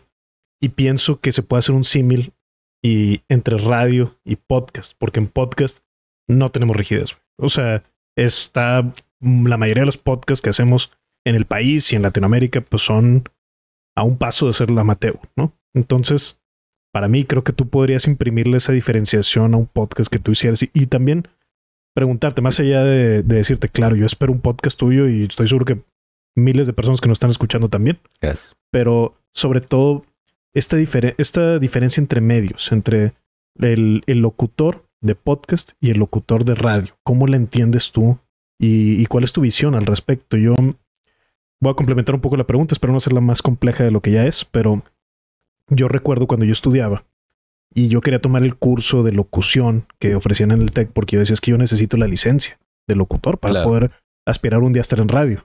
Y luego me topo muy rápido con, no, güey, eso ya no lo piden, güey. Sí. Y yo, ah, ok. Y ya no hice el curso, malamente, güey. Pero eh, bueno, nomás con eso complementaba y, y ahora sí preguntarte tu opinión. Y preguntarte, ¿tienes licencia de locutor? Sí, claro. Tienes que tener el del multimedios, Sí, creo, tengo- ¿no? sí, ¿En desde que entré. Aunque ¿Cuál? suene ridículo, sí, también No, para sí. estar al aire necesitas una No, licencia en- de conductor. Desde que entré a Multimedios, este, ¿Ah, sí? se- se- hice, hice el trámite de licencia de locutor. Este, no me tocó a mí ir a la Ciudad de México a presentar el examen. Lo hice sin la memoria, no me falla. Fue antes del sexenio de Fox. Me acuerdo que apenas iba a entrar Fox cuando, cuando saqué la licencia, porque este, en ese entonces lo que se solicitaba, la empresa veía tus aptitudes y veía si eras merecedor de una licencia de locutor. Entonces, en ese entonces, el licenciado Enrique Ávila Rubí, en paz descanse, me dijo, no, sí, muchacho, usted sí, sí puede tener su licencia de locutor, que para mí es eh, algo maravilloso tener Sí. licencia de locutor. Y me tramitaron la licencia, obviamente, que cumplía las aptitudes, que cumplía los estándares que ellos marcaban en ese momento, aunque a mí no me tocó el tema del examen de cultura general, de este, dicción de muchas otras de situaciones que te pedían en una licencia de locutor, que creo yo que eran muy válidas. Sí. Y este tipo de restricciones para obtener una licencia creo que era padre porque hacía que te esmeraras un poquito. más, Valoras sí. más también. Valorar más. Hace, perdón, seis o siete años hubo un cambio en la Ley Federal de Radio y Televisión, donde se tenía que tener sí o sí la licencia de locutor. Entonces empezaron a expedir licencias como barajitas y muchos eh, conductores que no sabían hilvanar tres palabras que tenían un programa de, de televisión juvenil en cualquier canal empezaron a recibir su licencia de locutor. Ahí sí, a mí me molestó mucho porque Claro. dije, este cuate, locutor, perdónenme, no es. O sea, no, no, sí, no. o sea, los locutores nos esmeramos por hacer este trabajo y no porque abrir un micrófono te hace locutor. O sea, eso siempre lo he pensado Sí. y lo, y lo, y lo sostengo. No, definitivamente. Eh, y es las tablas ahí las adquieres. Realmente tú como maestro de ceremonias, conductor de televisión, presentador de noticias también y otras de las facetas en las que te desenvuelves, no me vas a dejar mentir que las tablas eh, que te da ese desenvolvimiento vienen mucho de radio. Sí, o sea, el estarle hablando al aire, o sea, a un foquito rojo, créeme, te, te tienes que hacer bueno sí o sí y te das cuenta inmediatamente si eres para eso o no porque el, mantener el interés en una intervención de tres minutos, imagínate lo complicado que puede ser. En este caso también, partiendo de la pasión que tienes para entregar los datos que haces, pues te ves como pez en el agua. Pero cuando tienes que entregar algo de lo que no dominas, la preparación se vuelve fundamental. Cabrón. Sí, y, es un reto muy grande. Cuando muy cabrón, cuando se abre una puerta, de, el caso de maestro de ceremonias fue distinto, ¿no? Conduce un evento y el primer evento que conduje fue un festival de música donde se fue el micrófono, donde se descompuso el micrófono, entonces tuve que hablar sin micrófono y aprendí a improvisar un poco. Entonces, de ahí esa tabla de improvisar, ese evento que falló el micrófono y que pude improvisar, me dio tablas para un futuro de saber qué hacer con un evento. Te pongo un ejemplo de que, porque un maestro de ceremonias no es alguien que lee un guion en un micrófono vas a entregar un premio. Le entregamos el premio eh, de 25 años de trabajo en esta empresa, porque hay muchas empresas que, hacen entregas de, reconocimientos a la labor. Claro. A Roberto González por 25 años en la empresa y separar Roberto González en la mesa más lejana del, del recinto. Claro, hay que hacer tiempo. ¿Qué vas a hacer en ese momento? 80 segundos. y, Roberto González ya tiene 124 años, cabrón. Entonces. Abres primero con un fuerte aplauso para Roberto, te da tiempo y ahí estás maquilando. Estás maquilando. Tiene 7 segundos para ver qué sigue. Y lo va caminando Roberto. Roberto con, con, con, andador, güey. Y este, y dices, Roberto, que tú, con todos, con toda esa experiencia, pues sí, ya, ya está a ciento veintitantos de morir. Entonces, con toda esta experiencia que, tiene y luego ves que se ríe y vean ese carácter y ese humor que lo caracteriza y, la gente lo y vean cómo la gente lo quiere. Entonces, eso es lo que es un maestro de ceremonias. Lee lo que, exacto, lee lo que está sucediendo para que el evento pueda salir adelante. Es correcto. Y es que, y que el evento sea agradable para las personas que están y no estén sentadas así.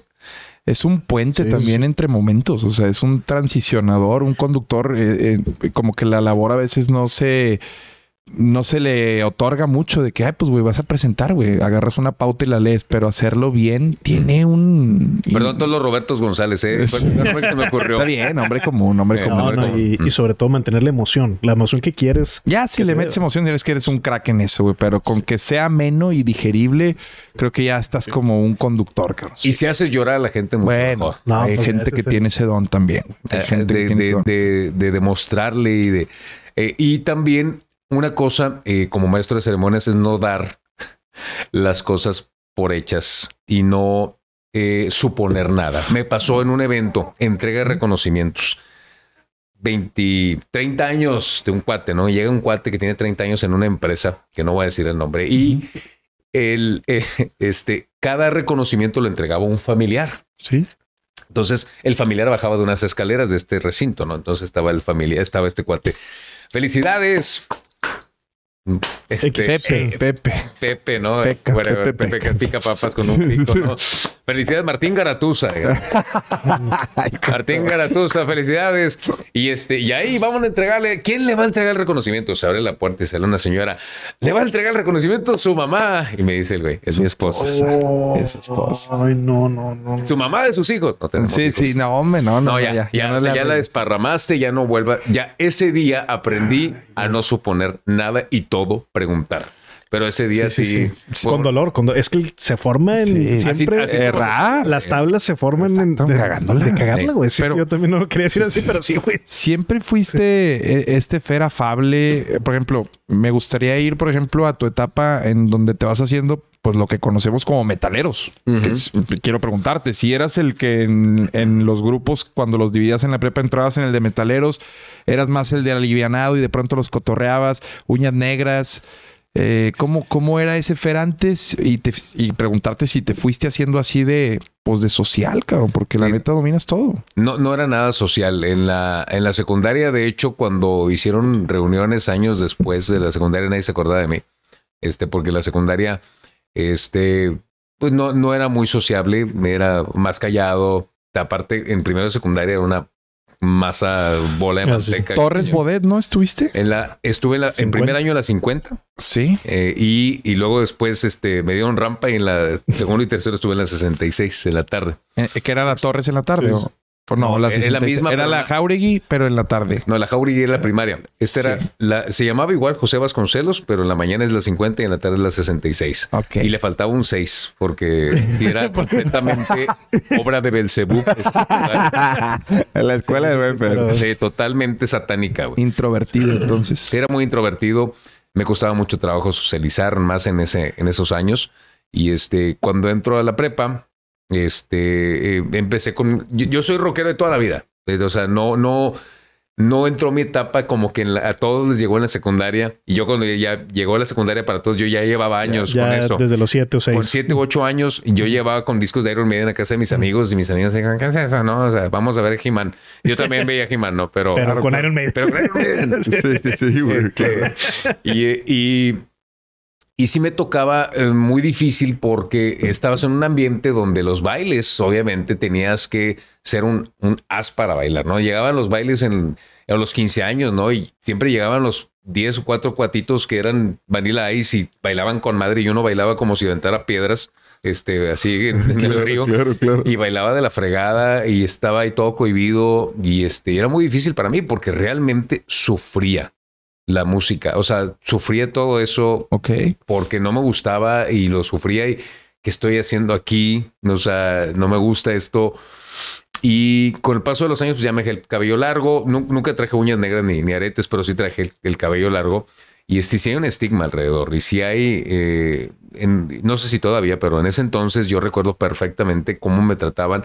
Vez fui a una tienda de, iba en una boda y necesitaba un traje, ¿no? Entonces fui a un- una tienda de, de trajes que está en Plaza La Silla y no sé si esté todavía. Y el que el vendedor no quiso sacar el traje porque pues, yo creo que pensó Ah, que este güey no. este güey no, ¿no? Entonces, Sí, sí, porque sí. traía el cabello largo y Sí, sí, me imagino. En Mon- Y- Monterrey muy mocho. súper mega mocho, ¿no? Entonces, y sí, su- viví mucho eso muchos años. Ya después, con el paso del tiempo, dedicándome a esto, sabía que tenía que romper esa barrera de que yo, yo tenía pánico escénico, no podía hablar en público, me daba muchísima pena, ¿no?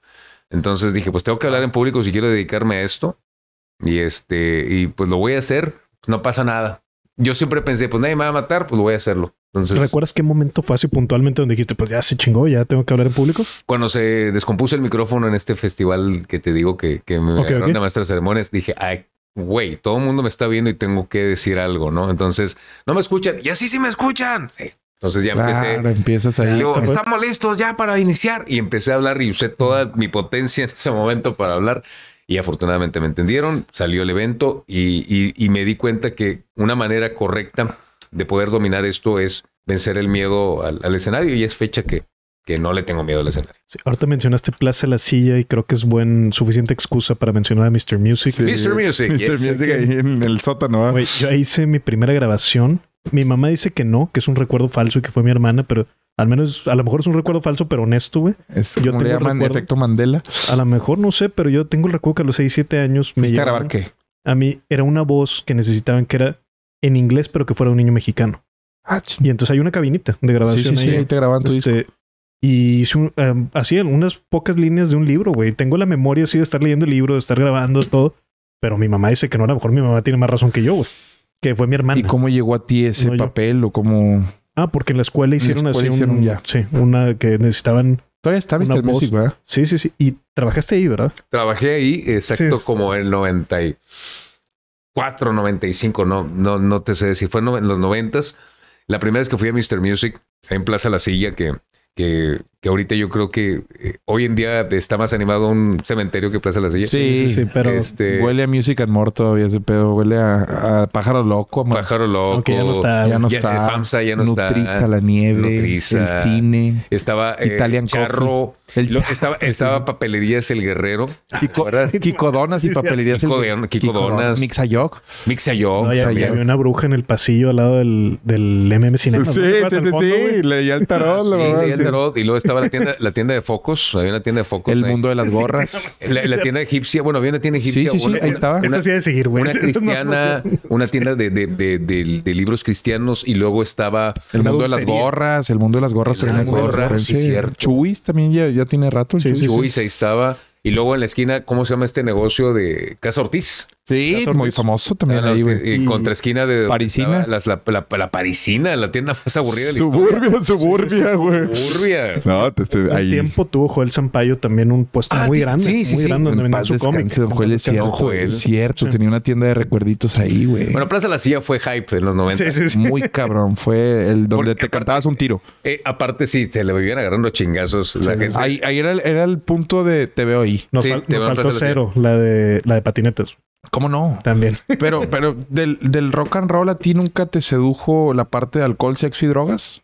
No, O fíjate sea, que... tu madre se encargó de blindarte de eso o, o sabías separar, güey. Por ejemplo, has visto la película de The Dirt. Sí, O claro. sea, todo pero tenías en el contexto en el que se dio, tú tenías como noción de qué pasaba De con todo. esos. Pero es que yo siempre me fui por la música. Por ejemplo, te voy a poner un ejemplo. O sea, el- en el tema glam de la vestimenta de, de las bandas que yo escuchaba, a mí nunca me gustó la vestimenta. Nunca me viste con, con esa vestimenta, ¿no? No, no, no. Nunca probé esa vestimenta. A mí nunca, nunca se me hizo cool. O sea, me gustaba más, sí, chamarra de piel, este, cabello largo, jeans, botas, o sea, pero ya de que lipstick y todo eso, no, jamás. El, y el tema de, de, pues, de, de drogas y estar así súper eh, este perdido y todo, pues no, si yo, yo era más musical, o sea, siempre fui Ser musical. un purista del sonido. Totalmente, totalmente. Entonces yo agarraba lo musical de cada cosa. Y la verdad crecí en una familia que me dio una muy buena formación. Sí. eh, que, que yo sabía que sí, que no. Entonces, más bien eh, tenía que demostrarle a mi papá, por ejemplo, que papá era de los panchos, de los tres diamantes, Antonio Aguilar. Antonio Aguilar, güey, este, le gustaban los montañeses del Álamo. Eh, o sea, imagínate para él este pedo. O sea, no, era estridente, horrible, nunca le gustó, pero tengo que admirarle a mi papá en paz descanse que siempre lo respetó. O sea, y, y entonces por lo mismo mi, mi labor era de, de demostrarle en todo momento que yo era, eh, estudiaba, nunca, nunca fui ni, este, yo siempre si iba a casa de un amigo, aquí me voy a quedar, aquí estoy, dónde ando, qué ando haciendo. O sea, nunca, nunca fui problema. ¿Te vio tocar tu papá? En Desvelados. Desvelado. En Desvelados me vio tocar. Y, y fue bien curioso porque pues el, el tipo de música pues no era nada que ver con lo que le gustaba. Al contrario, era así con growl. Pero papá me dijo, qué interesante. Digo, digo no, no le entiendo, pero que me, le daba mucho gusto a papá. Y lo que me sorprendió siempre es que jamás, nunca, a pesar de, de- de ser estricto y ser como era, nunca fue a callarme cuando estaba tocando la batería. Jamás. Qué chulada eso. güey. Nunca. Sí, sí, sí. Nunca. Él se, mejor se salía de antes de callarme. Eso es algo bien no, valioso, ¿eh? Me No. parece. A mí también, como formación, Como no interrumpir mientras estás en, en otro tipo de formación tú mismo, como niño, como adolescente. Una cosa es mano dura nada más por tenerla y, y creo que hay una mano dura que sí es muy válida y que creo que sería bueno que volviera también. Es muy Sí, en cierto Es grado. necesario. En cierto grado es necesario el rigor en todos los sentidos. Rigor. Hablábamos de rigor y la educación también requiere eso que decías del productor, del arreglista, del que hace el video. Creo que la educación requiere otra vez eh, meterle en, en aristas en donde hemos descuidado. Exacto. Sí, Eso de, por ejemplo, la educación en positivo. No, no, no, no. Ni premiar el quinto lugar y esas mamás. No, no, no, no. Se tiene que premiar el primero. Te tiene Sí. que premiar el primero. Volva- Haces algo, pues. algo mal, tienes que. El estímulo adverso tiene que ser muy notable para que no, se recu- no sea recurrente esa acción. Es Exacto. conductismo, Sí, claro. la verga. Y si el, si el rigor es justo, juega. güey. Claro. O sea, lo malo es cuando hay, como te digo, güeyes que por otros factores de, de ego y de mil Sí, cosas sí, sí. que no quiero dejar pasar a nadie. Y es- Pero eso es otra cosa. Si cuando Pero es nada más por, por mis pistolas. Ah, ahí Pero está mal. cuando hay una razón de por medio, por ejemplo, papá 100%. me dice, puede ser muy rockero, pero baja. Me acuerdo una, una fiesta que estuve, eh, invité a un, siempre hacía fiestas en el patio de mi casa Ya imagino. brutales, brutales. O sea, Les invitaba a todo, a todo mundo, desmadre y todo. Y papá, ¿qué? Haz tu fiesta, sin pedo. Una vez me acuerdo que estaba ahí en el desmadre, ya sabes, con unas amigas y todo. y Yo tenía los pies arriba de una silla. Dije, baja, baja los pies de la silla, cabrón. Eso no. O sea, la actitud no. también. O sea, era, era de cositas que podían denotar un poco de prepotencia. el- las... Y, Sí, y qué bárbaro. Baja los pies. Sí, papá. O sea, y decías, cabrón, o sea, Sí.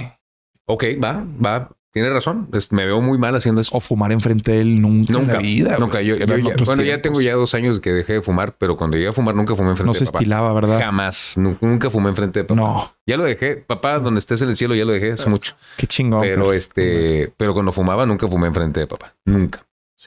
Jamás. Oh, no, excelente. Yo les quería preguntar también, porque ahorita conté yo de Mr. Music, creo que fue mi primera grabación, al menos en mi memoria, pero quería preguntarles a ustedes, si ustedes tienen memoria de su primera grabación, pues en- no sé si sería en radio, en caso de ambos, o, o dónde, Yo hice muy poco en radio en D99. pero tienen Pero memoria así del, me- del día, del, de qué se trató, güey. Me, me- me- me gustó el proceso porque empiezas cabineando, al menos en D99, como decía, es ¿Qué, una de sus fuertes. cabinear? Te mandan un viernes a las noche, en la noche. Entonces está es- padre. anuncia canciones. Anuncia canciones. Tú no Ah, tienes programa. y, Caminea. y era después de DJ Agustín. O sea, estás hablando de 11, Sí, sí. 12 y te escuchan dobladores de turno, eh, cuidadores de hospitales, enfermeros, te escuchan de cocina que están De seguridad. de seguridad mucho y está genial porque te piden grunge, te piden Alice in Chains, te piden eh, te piden eh, Audioslave, te piden ¿Qué estación Stone estabas? Temple Pilots en D99. D99. Lo bueno es que Magic me daba la, el que es el programador, Sí. me daba la libertad de, de poder complacer a ese nivel, incluso Nirvana, eh, por ahí Linkin Park. Entonces, eh, creo que eh, ahí es donde vas haciendo tus pininos y después ya te empiezan a dar una horita en la que vas haciendo un hábito de sintonía, que es fundamental y, y que creo que estamos ante un señor que ha construido el hábito de sintonía Sin duda. más cabrón.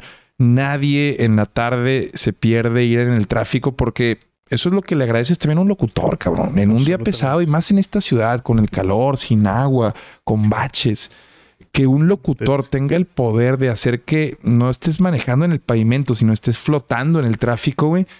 Pues se necesitan muchísimas tablas y ya no hay muchos locutores así. No, no hay una escuela y creo que Fer Gracias. Estamos ante alguien que está dejando una escuela, si no es que ya existe para mí, pero con la humildad que tienes, mm, difícilmente vas a abrazar esa idea. Pero Fer va a dejar una escuela muy, muy cabrona, no solo en Classic, sino en Grupo Multimedia Radio. Y es Gracias. tan fiel que sé que si te pregunto cómo te ves en 25 años, ahí te vas a ver, güey. Tal vez. Haciendo tal vez otros negocios, conduciendo, no sé que- dónde, pero Es que ese es el... el- mi vida eh, laboral circula con base en muchas cosas. Noticias, maestro de ceremonias, Sí. conductor de pero Classic Sorteotec. es tu pasión. Pero güey. Classic y mi, mi- mi radiografía es como que, eh, o sea, es como el, el sol de mi Vía Láctea. O sea, no sé si Exacto. me explico. O sea, Eh, Los demás circula. son satélites que Son giran en- satélites que giran, bueno, laboralmente hablando, que realmente el sol Claro. de mi vida láctea es, son mi familia, mi esposo y mis hijos. Pero eh, laboralmente es lo que me da. Yo espero el programa. O sea, yo tengo cuántos años al aire y espero. Güey, con madre, ya viene el radiografía. Déjame entrar al aire y ya sé que es mi hora de relax. O sea, eh, ya sé que es mi momento. Ahora sí, abro micrófono a ver qué sale. O sea, es muy importante saber que no me tengo que estresar. El tema de lo que preguntabas, porque Sí, nos sí, fuimos por otros grabación. lados. Primera Sí, grabación. Mi primera grabación, fíjate, eh, en Mr. Music, antes de, de trabajar ahí fui cliente porque yo compraba discos ahí. Que era el único lugar en los noventas que el vinil estaba eh, fuera de fabricación, que estaba descontinuado. Ahí encontrabas muchos discos de vinil descontinuados y compraba. Y en alguna ocasión fui y grabé la canción de Like My Fire, The Doors. Mm. Eh, ahí no canto, insisto, no canto, pero intenté cantarla. Y tengo la grabación, tengo el cassette grabado en Mr. Ah, Music caray. este, que grabé con la pista de Light My Fire. Este, horrible, espantoso lo grabé, pero lo grabé y me gustó y después entré a trabajar ahí. Esa fue mi primera grabación, ya después entré a trabajar. Eh, y mi primer programa de radio fue en Radio UDEM, que fue un, un, este proyecto estudiantil de una novia que tuve que me, me ofreció estar ahí, pero realmente mi, primer programa de radio como tal, en una radio este, ya que, Formal. con formal fue en Stereo 7, en un programa que se llamaba este era la máquina del tiempo. Después ya me dieron el mío que se llama alto voltaje, pero fue ahí la primera eh, experiencia medio verde, lo que tú quieras, pero entré y tengo esa grabación por ahí, la tengo en un cassette. ¿A qué canción mandaste? ¿Cuál fue la primera canción a la que mandaste? Qué A vos, ¿te acuerdas? Buena pregunta. Fíjate, la primera, no, ahorita en este momento no, No, pero, acuerdo. pero algo que haya sonado en el primer programa que no podía faltar. Fue, yo creo que una de las que me acuerdo que eh, tocamos fue Eagles Take It Easy, eh, porque era un programa un poquito eh, más, más relax, no era metal. No era No era metal. metal, no era metal. Este, no sé, Europe, The Final Countdown, no me acuerdo cuál Ahí, fue. cómo no, Final Buenísimo, Countdown buenísimo. de la película de Rocky, ¿no? Pero- O Rocky 4. No, es este, eso es The una canción. Final Countdown. Es una canción que hizo el efecto Mandela con, con el tema de Rocky. A ver. Esa canción se grabó hasta el 86. ¿Y Rocky fue en el 85? Rocky fue en el 85. Pero, Pero- entonces después la agregan como parte del soundtrack. ¿Es esta canción? ¿Es, la misma o es falsa, distinta? una memoria falsa. Eh, es- Ah, sí esa- estamos hablando de la misma canción. es la misma canción de Final Countdown. Hay una leyenda urbana que, que piensa y es el efecto Mandela. A ver, no, espérame. No, porque si tú ¿No le es pones Rocky, Rocky favorita soundtrack, o sea, también? pues está. O sea, ¿quién la agregó al soundtrack? No, No, no, parece. no está. Ah, chinga. O sea, ¿y no sale en la movie? jamás. No, no, me, ya me voy, banda. Ya, me voy. Ya no quiero Ya me voy a ver Rocky Me 4, acabas de destruir mi mundo, güey. ¿Cómo? Es que Eh, aunque usted no lo crea.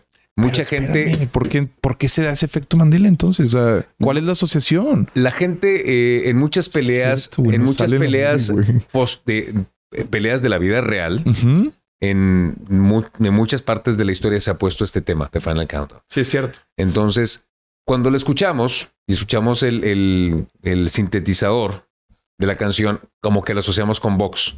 Y el tema de Rocky, el de... Survivor. eh, no, bueno, de lo que salió en Rocky 4 fue Burning Heart. Burning Burning. Heart, In the Sí, porque Burning Eye of the Tiger Heart. era de Rocky 3. En Rocky 3. El Rocky 4, el soundtrack estaba Living in America de Eh, James Brown. James Brown. Estaba eh, John Cafferty con Hearts on Fire. Hearts on Fire. Sí. Esa es muy buena. Obviamente Burning Heart Go- también. Redemptions, eh, no, la de Going, Going the Distance es de la 2, ¿no? Going the Distance es la tiki tin tin tin tin tin tin.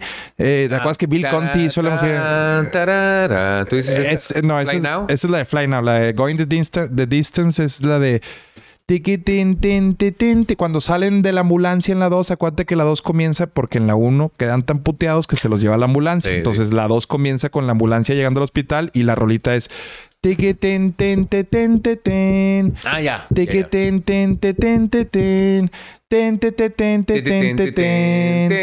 Y empezaba y era una chulada.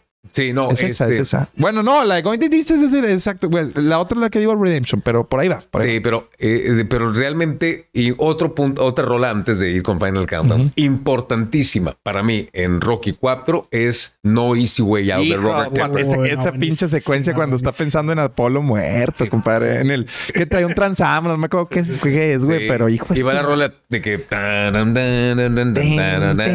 There's no easy way out. güey. No, no sé. A una sola mano va el perro. Y luego, y aparte la pinche cara de Ay, no, no. Estalón de que. No me ves sea, por ahí, güey. de Estalón está pensando, o sea, pinche. Dra- Drago me va a partir la madre. Y, y- y la, espérame, eh, está alimentada por la escena previa donde en la pelea que tiene con Adrián en las escaleras, que llega el vato, Adrián está arriba, conceptualmente creo que también dice mucho la escena y le dice fighters fight. O sea, creo que le dice tengo que pelear y es donde le dice me voy a vengar, güey. O sea, voy por este ojete, güey, porque Sí. acabas de matar a mi.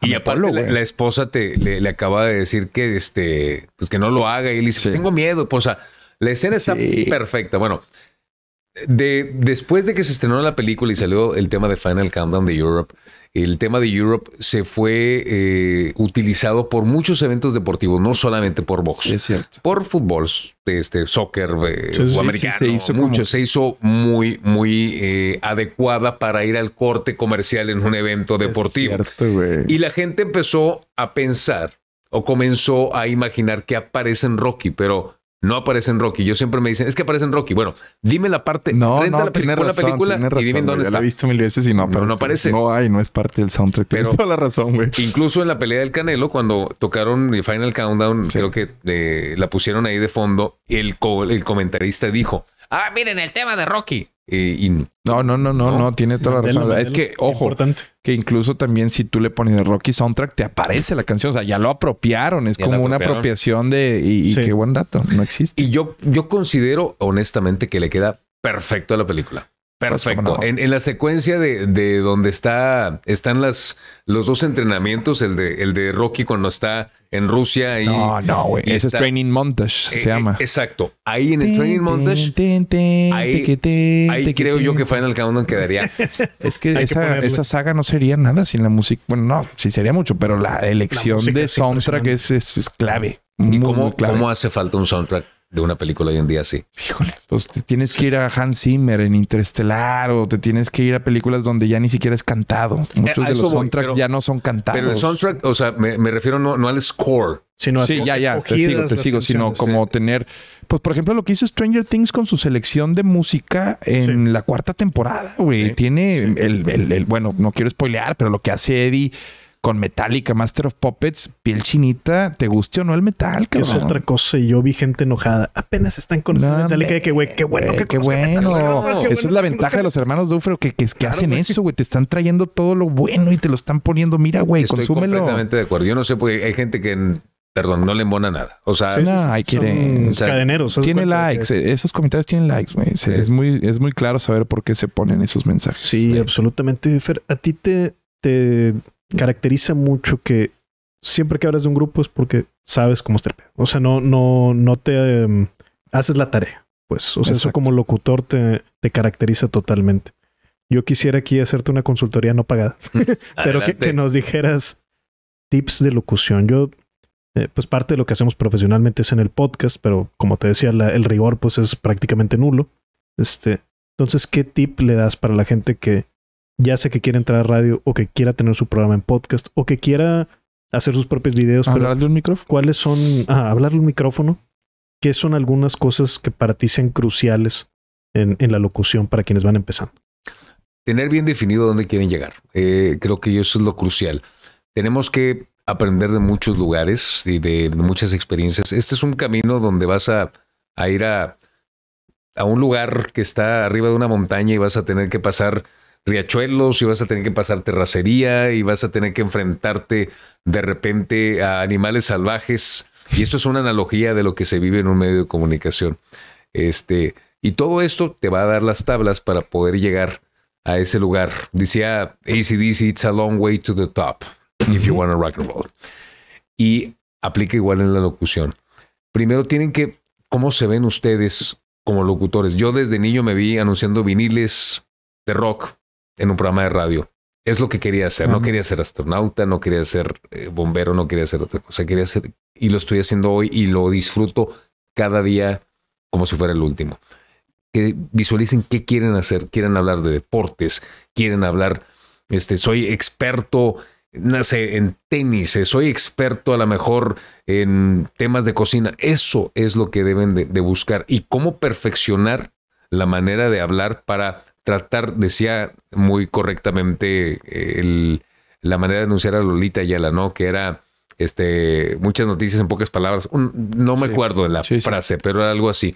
Tratar de decirlo en la menor cantidad de palabras posible, el, el mensaje más grande que pueda. Conciso, ser conciso. Ser concisos y dando la importancia a la palabra y a los silencios.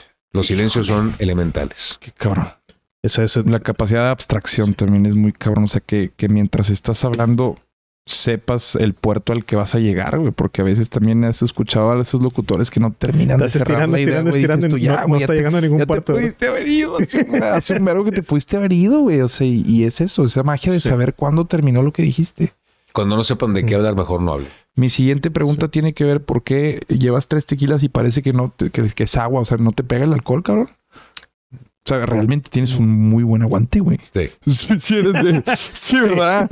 Sí, más y más con el tequila. Yo sé, gente que con tres tequilas ya el- eh, empieza un poquito a arrastrar las palabras. No, en verdad sí tienes un muy buen manejo. Sí, me encanta. Y aparte me encanta el tequila, entonces ya, ya, ya tengo algo, un poco. No, un qué de que el señor también, ese sí sabía, sí, sí. eh, ese sí sabía. Usted también tiene muy buen manejo el tequila. No, hombre, güey. Pues sí, ahí andamos y eh, te iba a decir, yo sí me gustaría ahondar en esto porque lo dijimos así. Y hace ratito estaba haciendo el live stream hace, hace un momento. Este, me, me gusta mucho estar haciendo esto. Y me preguntaron puntualmente, una persona me ponía ahí, es que ¿qué hago en mi podcast con los silencios incómodos? Pero así, exactamente esa pregunta. Entonces, ahorita que es el manejo de los silencios, yo coincido totalmente, creo que los tres, en que el manejo de silencios es crucial y además es de lo último que aprendes. Entonces es algo complicado, realmente es... Yo también siento que a veces esto es como un, no sé si han visto antes de que empiece un partido que los jugadores de fútbol le hacen un no caiga, o sea, que empiezan a, y siento que a veces es la conversación, no hay que dejarla caer. Y para eso se requiere que los tres que están involucrados, cuatro o cinco, tengan técnica. Lo mismo en un rondo de fútbol, cuando le cae la pelota a quien no tiene la técnica para mantenerla en el aire, creo que puede pasar esto. Pero creo que en una buena plática esos silencios a veces me pueden lucir por su ausencia. Si, si estás emocionado por lo que viene y ya estás, yo sé, mucho de lo que dice Fer, tal vez antes de que termine yo ya estoy pensando en qué quiero preguntarle, güey, porque me apasiona y me intriga y me da mucha curiosidad, Pero sí, definitivamente habrá espacios en donde el silencio pueda ser lapidario. Ay, güey, cabrón. Y puede ser una invitación también a abandonar en ese momento el podcast. Cuando, cuando el silencio se vuelve incómodo, eh, la improvisación es un elemento fundamental, mi querido Watson. Y lamentablemente nada ni nadie te va a dar eh, el elemento que necesitas en esos silencios incómodos más que la experiencia. No hay otra cosa, no hay una escuela, no hay un libro que te diga que tienes que hacer en un silencio incómodo, creo yo, más que la experiencia. Entonces, cuando pase eso, en caso de un podcast o algo, aprendan un poquito nada más a llevar al entrevistado, en este caso a la gente que busque esos elementos para que eh, piensen en el, en el público final, a quién van dirigidos, quién los va a ver, quién los va a escuchar y, este, y qué es lo que les gustaría escuchar. Y yo creo que ya con eso ya estamos, eh, ahora sí que un medio paso adelante, porque eso nos ayuda un poquito a saber qué queremos hacer en este producto al final del día. No, claro, claro. Sí, de acuerdo. Yo creo que el silencio tiene que ser también va de la mano con escuchar, pero es un silencio activo, ¿no? No es que estoy como papa, sino estás pues de alguna forma prestando tu atención.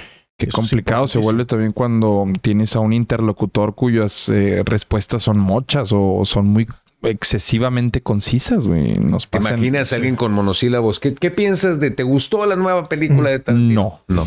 Pues no, no, no. eso, eso también creo que es parte de. Yo creo que también te lleva un, entrevistado así, cuando tiene ese tipo de respuestas, también te lleva a que este, esta entrevista o este producto no está llegando a ningún lado. O sea. Yo he dicho en ocasiones no conozcas a tus ídolos y tú tienes muchos en la música.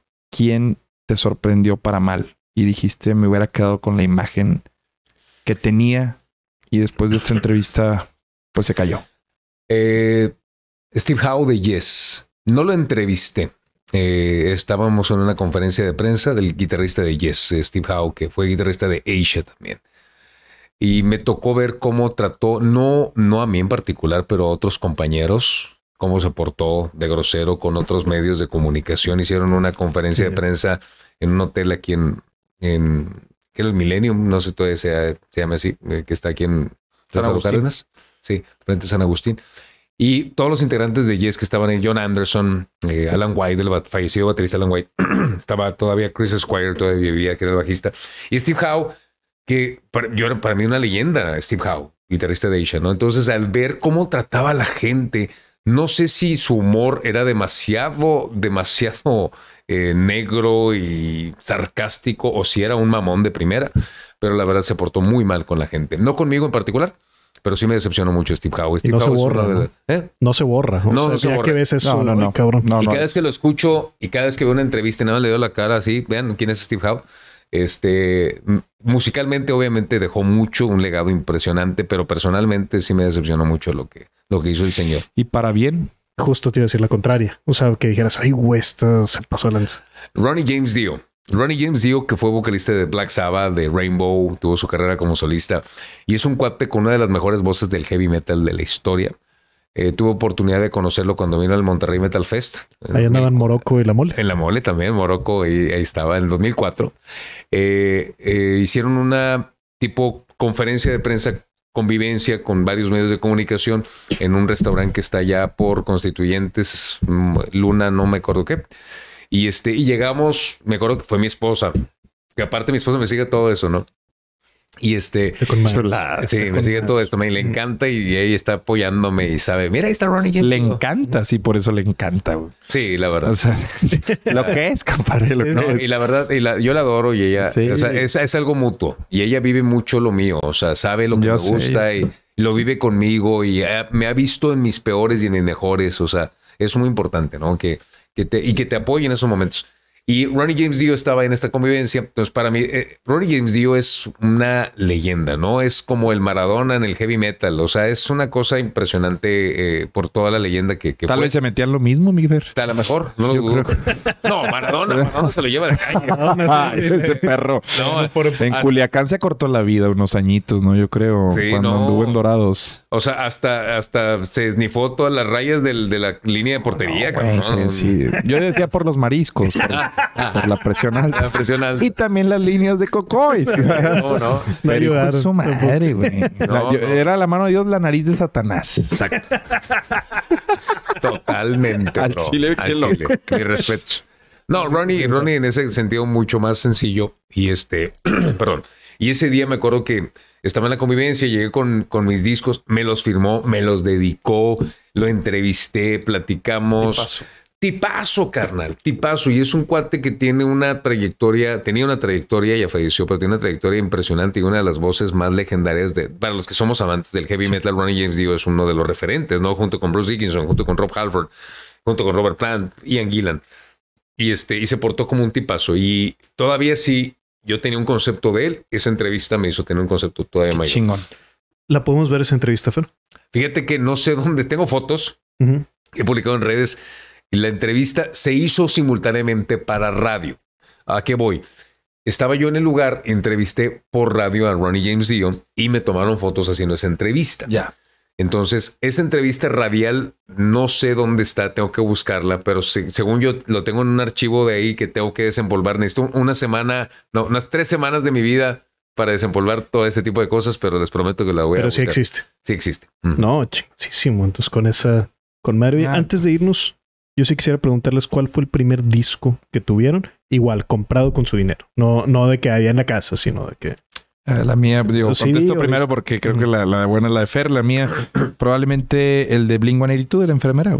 Ah, te Eh, mamaste. sí. eh, ¿Cómo Lo- se llamaba? Eh, What's My ¿Dónde? Age Again? No, ¿cómo se llamaba? ¿Dónde veían los? Enema, Enema of the State. Enema of the State. Enema of the Enema of State. the State tal vez fue mi primer disco comprado. O el de San Quintín de Metallica, me acuerdo también. Ah, cómo no. El, bueno, el, el Saint Anger.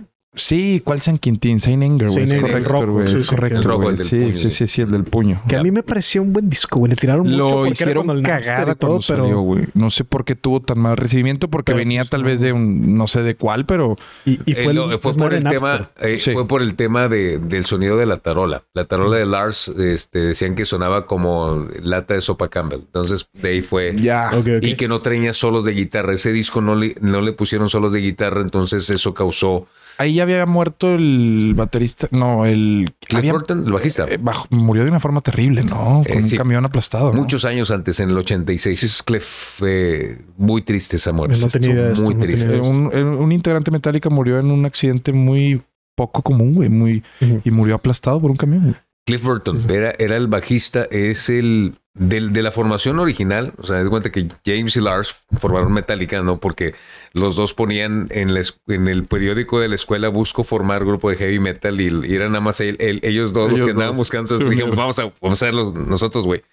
Este, se toparon, tenían un, un bajista que era amigo de, de James, este, el cual Ron McGovney se llamaba, el cual pues era un cuate un poquito más hogareño, no tenía esa, ese ímpetu metalero y de guitarrista encontraron a Dave Mustaine. Dave Mustaine, Nada más. nada más, ¿verdad? De G3, ¿no? Eh, eh, Dave No, Mustaine que fue después el encargado de formar Megadeth. Mega desierto, es correcto. Entonces, pero Dave Mustaine pues, era súper eh, pedote y cada vez que se em- emborrachaba, pues era muy violento. Entonces, esto los llevó prácticamente.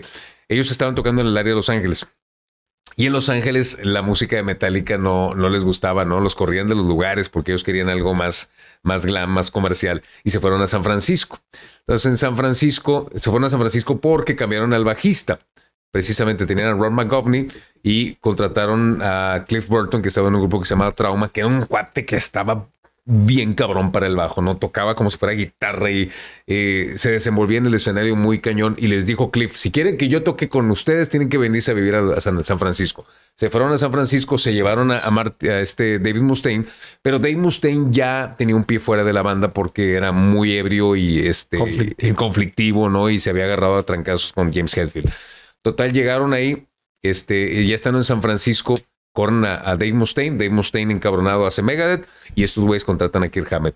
Ya el grupo como tal, Kirk Hammett, Cliff Burton, Lars Ulrich y James Hetfield graban Kill Em All, Ride the Lightning y en Master of Puppets en el 86 se van de gira y estando en gira en, eh, iban en, un autobús en una carretera donde había hacía un chorro de frío, ¿no? Y se supone que el chofer chocó con un pedazo de hielo. Se supone porque nadie lo vio. El camión pierde el control y esa noche la litera que estaba al lado de la ventana, que era la del guitarrista Kirk Hammett, se la, eh, era la, litera más cómoda de todo el autobús. Entonces dijeron, eh, güey, ¿por qué siempre te toca a ti la litera? Eh, o sea, a Kirk Hammett, vamos a, poner unas, eh, a sacar unas cartas y el que saque la carta más alta escoge la litera que él quiere. esos datos, cabrón? No mames. Ahí te va. Kirk Hammett, que le tocaba, tenía la litera de toda la vida, Dice, bueno, vamos a sacar una carta. Y luego Kirk Hammett sacó un, dos de corazones, güey. Para empezar que aceptara, güey. Sí. Cliff Burton sacó las de espadas, güey. es tu muerte, güey. y lo tomaron como el más bajo o el más alto. Fue el más alto, Cliff Burton. Y dijo, yo quiero tu yo litera. quiero tu litera, güey. Y esa litera es la que estaba al lado de la ventana, que era la más cómoda de todas. sí eso, Pero esa litera era la que estaba al lado de la ventana. Entonces, ¿qué pasa cuando choca el camión? Rompe el vidrio, Cliff con el golpe. Cae Cliff, le cae el camión encima. no. Todos los demás sobrevivieron y Cliff pues ya estaba aplastado por el camión. ¿Y sabes qué es lo peor? Que ya llegaron los servicios de auxilio, levantaron el camión, una grúa, y se le zafó el camión. Y le volvió a caer a Cliff otra vez. O sea, si no estaba muerto, no, no, no, Lo remataron. Lo remataron. Sí, ahí es cuando Metallica compone el amigo que se fue, ¿no? No, ese es de intocable. ese es de intocable. No, te mamaste con esa historia, güey. sí, no, no. 27 de septiembre del 86. Eh, ¿Eso es de dominio público? ¿Cómo accedes a eso? ¿Un documental o empiezas a investigar o...? Sí, lo, han comentado en varios, varios documentales de ellos. En el documental de, de MTV fue la primera vez que lo vi. Y lo vi Behind the Music de VH1. Y luego en la película de Some Kind of Monster lo han platicado varias veces y todo esto que te platiqué es porque lo he escuchado en varias veces que lo han comentado. Eres, el animador de las pedas, ¿verdad? También. O sea, no seas mamón, güey. Te tiras hasta a las 3 de la mañana. No, ya, con un cazadores, güey. Y, y, y, pon, pon metálica, güey. ¿Cómo? No, ponte Master of Puppets ya, güey. o sea, al chile se mamó. No, te voy a decir que en las pedas soy el que menos habla. No, no me gusta, me gusta, prefiero agarrar el pedo y escuchar a los demás. Qué chingón. Pues prefiero disfrutar. Creo que eso resume bien, cabrón, lo que eres, güey. También. Absolutamente. Nomás que no te dejo escaparte sin que me digas cuál fue el primer disco que compraste. Que compré con mi, con mi dinero. Sí. Mira, de dinero ganado de, de, o sea, de, de, mi frente, no que me regalaron, porque obviamente cuando era chavito me regalaron dinero muchas veces y iba, e iba a comprar un disco. Pero te voy a decir, la primer, el primer sueldo que tuve de, de morrillo, y los los días del niño, los cumpleaños y las navidades eran las tres fechas donde podía pedir regalos. Entonces, ah, tengo muchos hermanos y a todos les pedía, oye, brother, quiero este, unos cassettes de ACDC y a otro le pedía el nuevo de Autograph y a otro le pedía uno de Judas y de, todo, ¿no? Pero cuando empecé a trabajar, mis primeros Mr. Music fue un trabajo que, que, que disfruté mucho. Este, estuve en unas hamburguesas que se llamaba Kicksburger ahí en, Rincón de la Primavera. Pero el primer trabajo que tuve que ya recibí como que un sueldo de más choncho fue en eh, Smile Burger. Las hamburguesas Smile Burger que estaban en ahí este por el tecnológico de Ricardo. ¿También mesero? ¿Eh? Fui mesero y luego fui barman. Estuve de barman ahí. Era el que preparaba. ¿Qué es lo que hacía yo realmente? Nada más preparaba el, una, una jarra gigante así de piña colada para la chavas, porque en ese entonces era la piña colada para las chavas y cerveza para los chavos y vampiro ya preparado. Y ya, o sea, no había como toda la variedad de bebidas. Estoy hablando de noventa y tantos. Dime una cosa, ¿y es donde coincides con Beno de Genitalica? Beno lo conocí en la esquina de Orión. Ok. En, en Orión, en Rigel. Eh, nos juntábamos Beno, Gallo, Andrés, este, y un chorro de raza de, de, de ahí de la zona para, para agarrar el pedo y escuchar música. Es que Monterrey Sur, al final, pues todos Country, Rincón de la Primavera. Yo vivía, en la, yo vivía en la primavera, entonces me quedaba súper cerquita ir a Orión Eh, los fines de semana. 350. ¿Eh? Toda la vida. La las tostadas de Bonnie ya estaban. Claro, pero yo prefería las tostadas de Doña Tecla. Ay, chévere, güey. Era- las de Doña Tecla estaban en Ella frente de la firmaba también teclas, sí, Tecla. ¿verdad?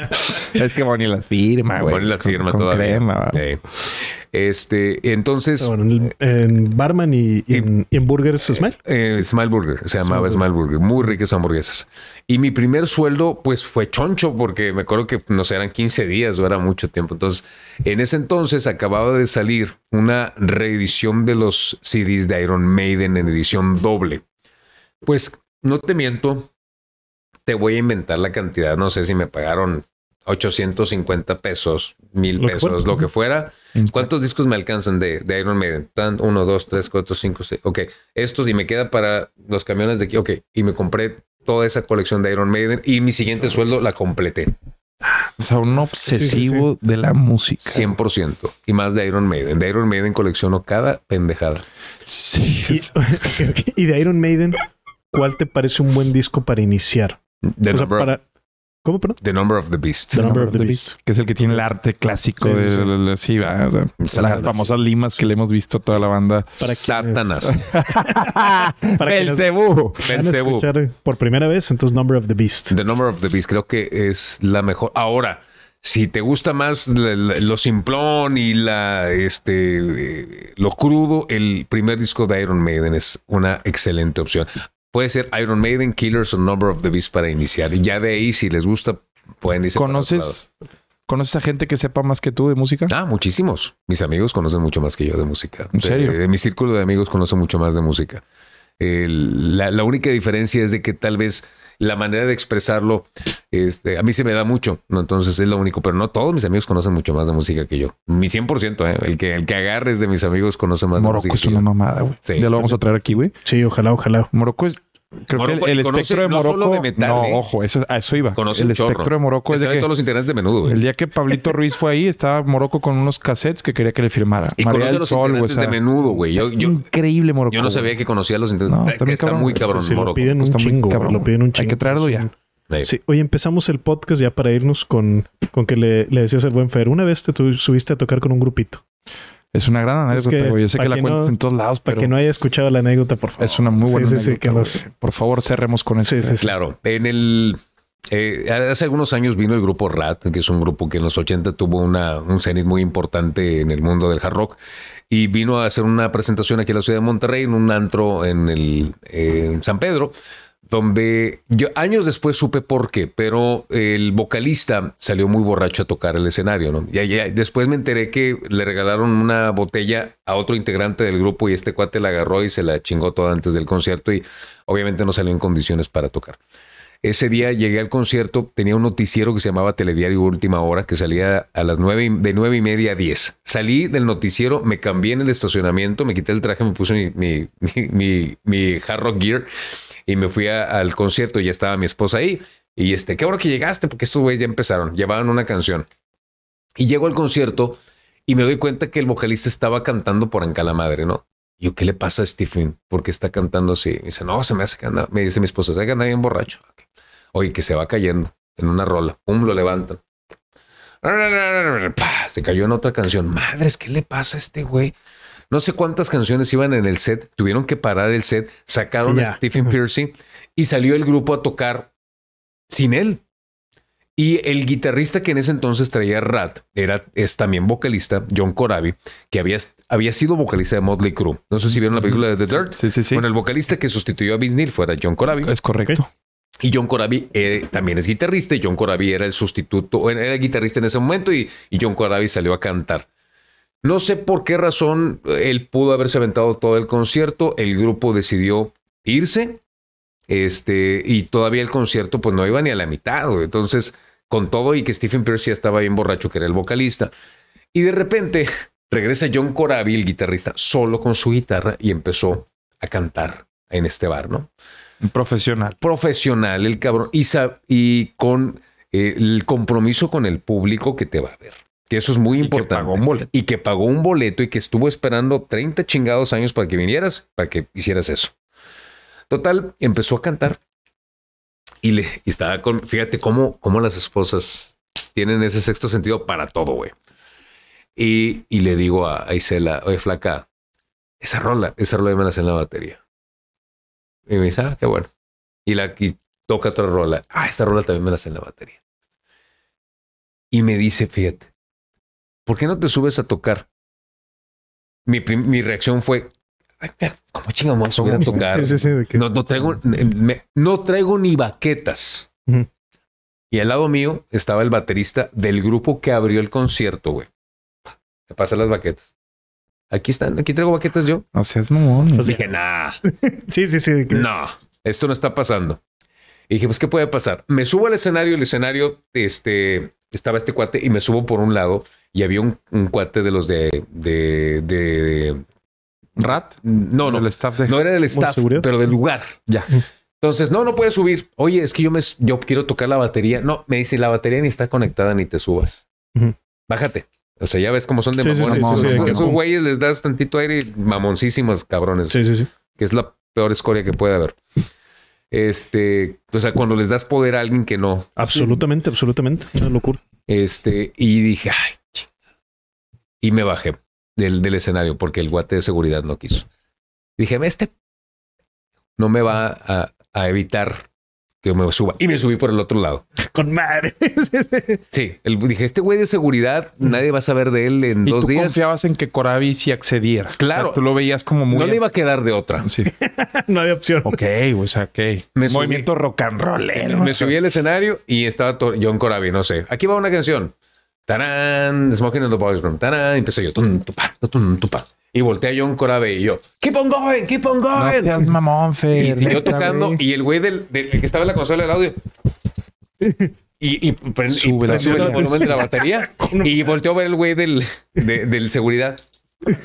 A huevo, Hombre, perro. Estaba huevo, porque güey. el según yo no está conectada la batería. Madre, sí estaba conectada. Sí, y empecé a tocar con él. Smoking in the Boys Room y eso está en YouTube. No y está, tocando ¿Y Smoking in the Boys cómo lo tomó, güey? De que no Y mames. dije, ¿qué pedo con este güey? Y empezamos a tocar. Pum, pum, tocando. Y, y tocamos una, dos, tres de este, la rola de Livewire, un fragmento. Y luego me dice John Corabi, esta rola se me hace que no te la sabes. Si no te la sabes, no la toques. Y es un acorde. Oh, darling. La de Beatles. Y nada más yo digo, oh.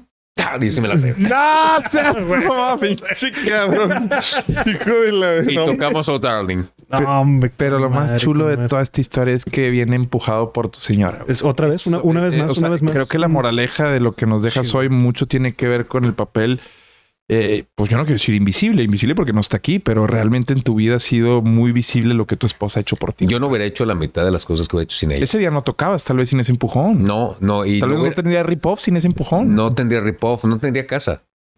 Sí. Para empezar, mi esposa fue la que me dijo, compra, vamos a comprar una casa. O sea, que estábamos rentando. No, ¿por qué no compramos? No es que no puedo. Chingados, no puedes. Sí puedes. O sea, ¿Tu hijo adquirió el gusto musical? no. Mi hija.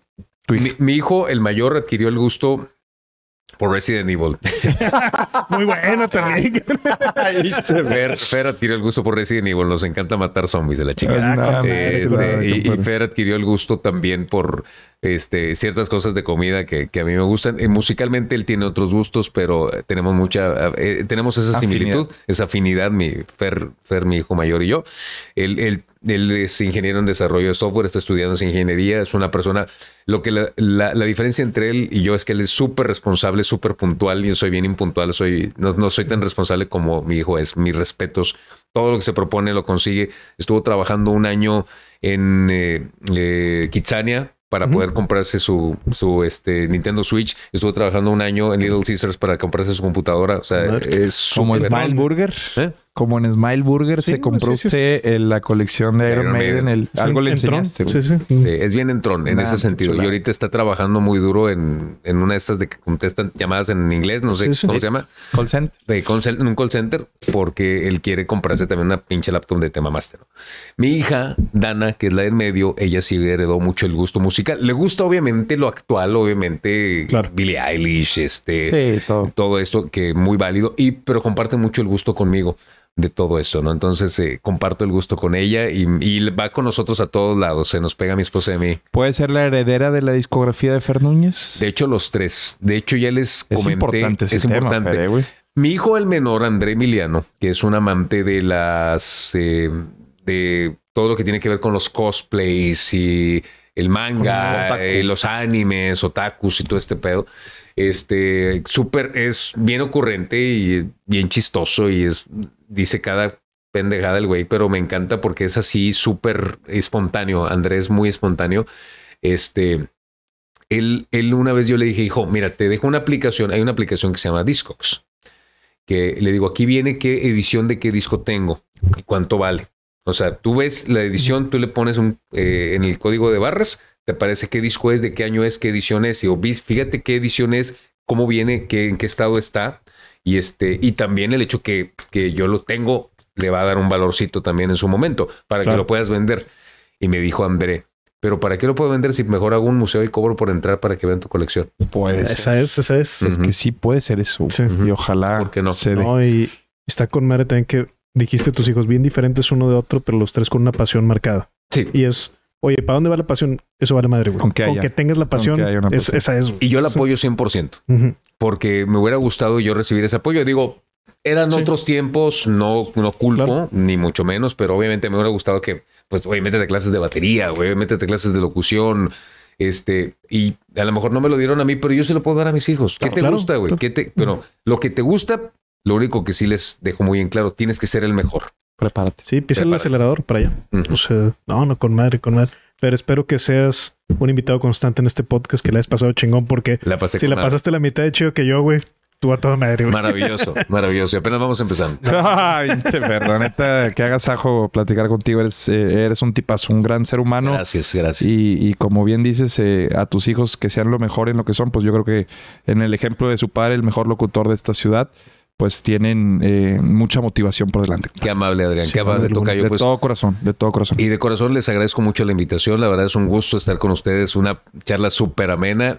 Y eh, muy, la verdad, me siento muy cómodo porque fui muy abierto en todo lo que, todo lo que les Ah, platiqué es tal cual. No, hombre, pues primera de muchas. Aquí lo, lo vamos firmando aquí que, que te tendremos pronto de vuelta. Entonces, Gracias. pues nos vamos con el DeLorean. Entonces, Vamos. porque siempre nos subimos metafóricamente al DeLorean de volver al futuro, a que te des a ti mismo un consejo en el pasado. Entonces, si el Fer Núñez de hoy pudiera hablar con el Fer Núñez, ¿te parece el que va entrando a su primer programa de radio formal? Ándale. O sea, después de Radio UDEM, el primer programa que dijiste, este es el formal.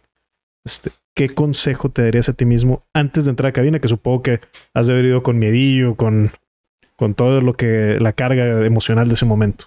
Sabes que es bien, bien curioso que me preguntes esto porque muchas veces lo he pensado.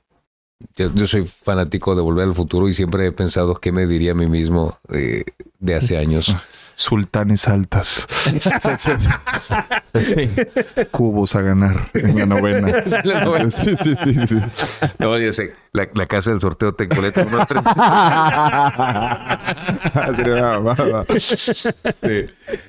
Google. eh. Yo creo que eh, el consejo que me daría es sueña más alto. Le cabrón. Sueña más alto. Vas, vas a conseguir más, pero tienes que soñar más alto. No te rindas. Sueña más alto. Es lo que me, es lo, lo que me diría a mí mismo. Sueña más alto.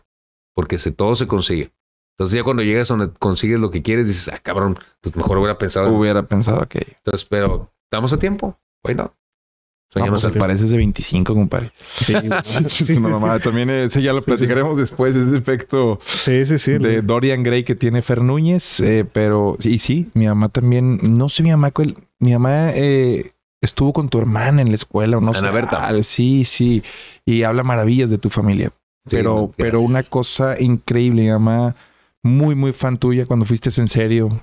De, principi- de principio a fin y sobre todo esa, esa relación que, que conoce a tu hermana, creo. Sí, y después le dije a mi hermana, Ana Berta, y le comenté, oye, la mamá, sí, sí me dijo. o sí, sea, pues bueno, tiene una referencia maravillosa tuya. Qué buen consejo te diste, carnal. Sí, muy, muy buen Y, pues, consejo. creo que es la-. Antes de que pases con la pregunta final, esta es la ocasión en la que con más propiedad alguien nos va a poder recomendar un disco, ¿no, carnal? Absolutamente, absolutamente. Esa es la que ya estoy así también. ¿Qué nos va a Pero recomendar? antes de eso- Antes. Eh, una promoción descarada, Fer. Esto consiste en que le digas al público alguna promoción descarada. O sea, más que yo sé que tienes un chingo de presencia en redes, en radio, todo, pero algo que vendas, algo que la gente diga, oye, güey, es que Fer se mamó, güey. Quiero comprarle cosas, güey. O sea, por eso es promoción descarada. O sea, no sé qué, dónde No. te buscan para, para conducciones, si cualquier producto que traigas, producto de quien sea, pues este es el momento. Te agra- les agradezco mucho. Bueno, eh, eh, dos de las labores principales que tengo aparte de, de locutor de radio es ser voz en off de spots comerciales. Entonces, si te buscan mi spot para, o mi voz para un spot, eh, Fer Núñez al aire en Instagram, en Facebook, TikTok, Twitter, Fer Núñez al aire sin Núñez, la ñ, Fer es Núñez correcto. por el tema de la ñ, que es un eh, tema a veces en redes sociales. Este, y si quieren maestro de ceremonias para su evento, eh, estoy a sus órdenes, 25 años de maestro de ceremonias. Este, me encanta mi trabajo y es formal, siempre, muy formal, muy propio y nunca digo cosas que no debo de No. decir. Entonces, eh, estoy a sus órdenes para eso. Voz oficial en comerciales y maestro de ceremonias en eventos, a sus órdenes cuando quiera. Si quieren escuchar cosas que no se deben decir, contrátenme a mí. ya si quieren ese estilo para su, su posada. Ya- ya- Nah, no es cierto, pero me ha tocado trabajar con Fer en, en, en controles remotos. Es un tipazo. Interesante. Sinceramente, y se, se le aprende muchísimo. Se No le tengo muchísimo. No tengo duda, le seguiremos aprendiendo y fomentando aquí el espacio, la amistad y todo lo que venga. Pues Fer, nos vamos entonces. Ahora sí, tenemos un ritual que consiste en que para cerrar el podcast le recomiendes a la audiencia un disco de música. O sea, no una canción. Cada capítulo álbum. que termina les recomendamos un álbum de música para que lo escuchen completo, de inicio a fin. Entonces, ¿qué disco le recomiendas a la audiencia? Muy bien. Muy bien, muy buena pregunta. Es que tengo muchísimos que puedo eso, me imagino que ahorita está Muchísimos. Este, el RAM ahí escogiendo. Ok, el, sí, este- está el... el- Eh, Estoy tratando de hilvanar, es que puedo recomendarles muchos. No. No pasa nada, el silencio aquí lo Sí, sí, sí, manejamos. sí, sí. ¿En silencio lo manejan? Eh, Ahí viene don Alberto, eh, don Roberto González caminando. Viene caminando. Viene don Eh, Roberto Roberto González 80 segundos. caminando mientras Fer eh, se tira. Ok, eh, Led Zeppelin 2. Led Zeppelin 2, una maravilla. Escúchenlo porque es perfectamente imperfecto. Ese es un disco que está lleno de sonidos que no deben de ir ahí. Este, de audios que se metieron en la cinta porque no se, se grabó distorsionado. Este, se escuchan este, cosas de. Tiene muchos errores en la grabación, pero la pasión de ese disco de Led Zeppelin 2 de principio a fin. Maravilloso. ¿Quién te gusta más, Iron Maiden o Led Zeppelin? Es difícil, pero son tus dos, ¿no? Son mis dos. Son como, tus dos, ¿no? Es como si me preguntaras a qué hijo quiero más. Sí, va. Es O sea, una mamada, no sí- puedes contestar, ¿verdad? Sí hay, güey? sí hay uno, pero no te voy a decir. O sea, sí hay uno, pero no te voy a decir. No, con eso nos damos. Tremendo podcast. Tremendo podcast. Nos vamos con 2. Qué bueno. No lo había visto así, güey. O sea, sí hay uno, no te voy a decir, güey. Per, vuelve pronto, compadre. Vuelve pronto. Gracias, Adrián. Dios Gracias. Tocayo. Y Dios los bendiga a ustedes y a todos ustedes que nos están viendo también. Jimi Hendrix te bendiga, hermano. Gracias. Igualmente ustedes, Jim Morrison los bendiga. Excelente, excelente. ¿Es todo, compadre? Es todo, compadre. Es todo, compadre. es todo, amigos.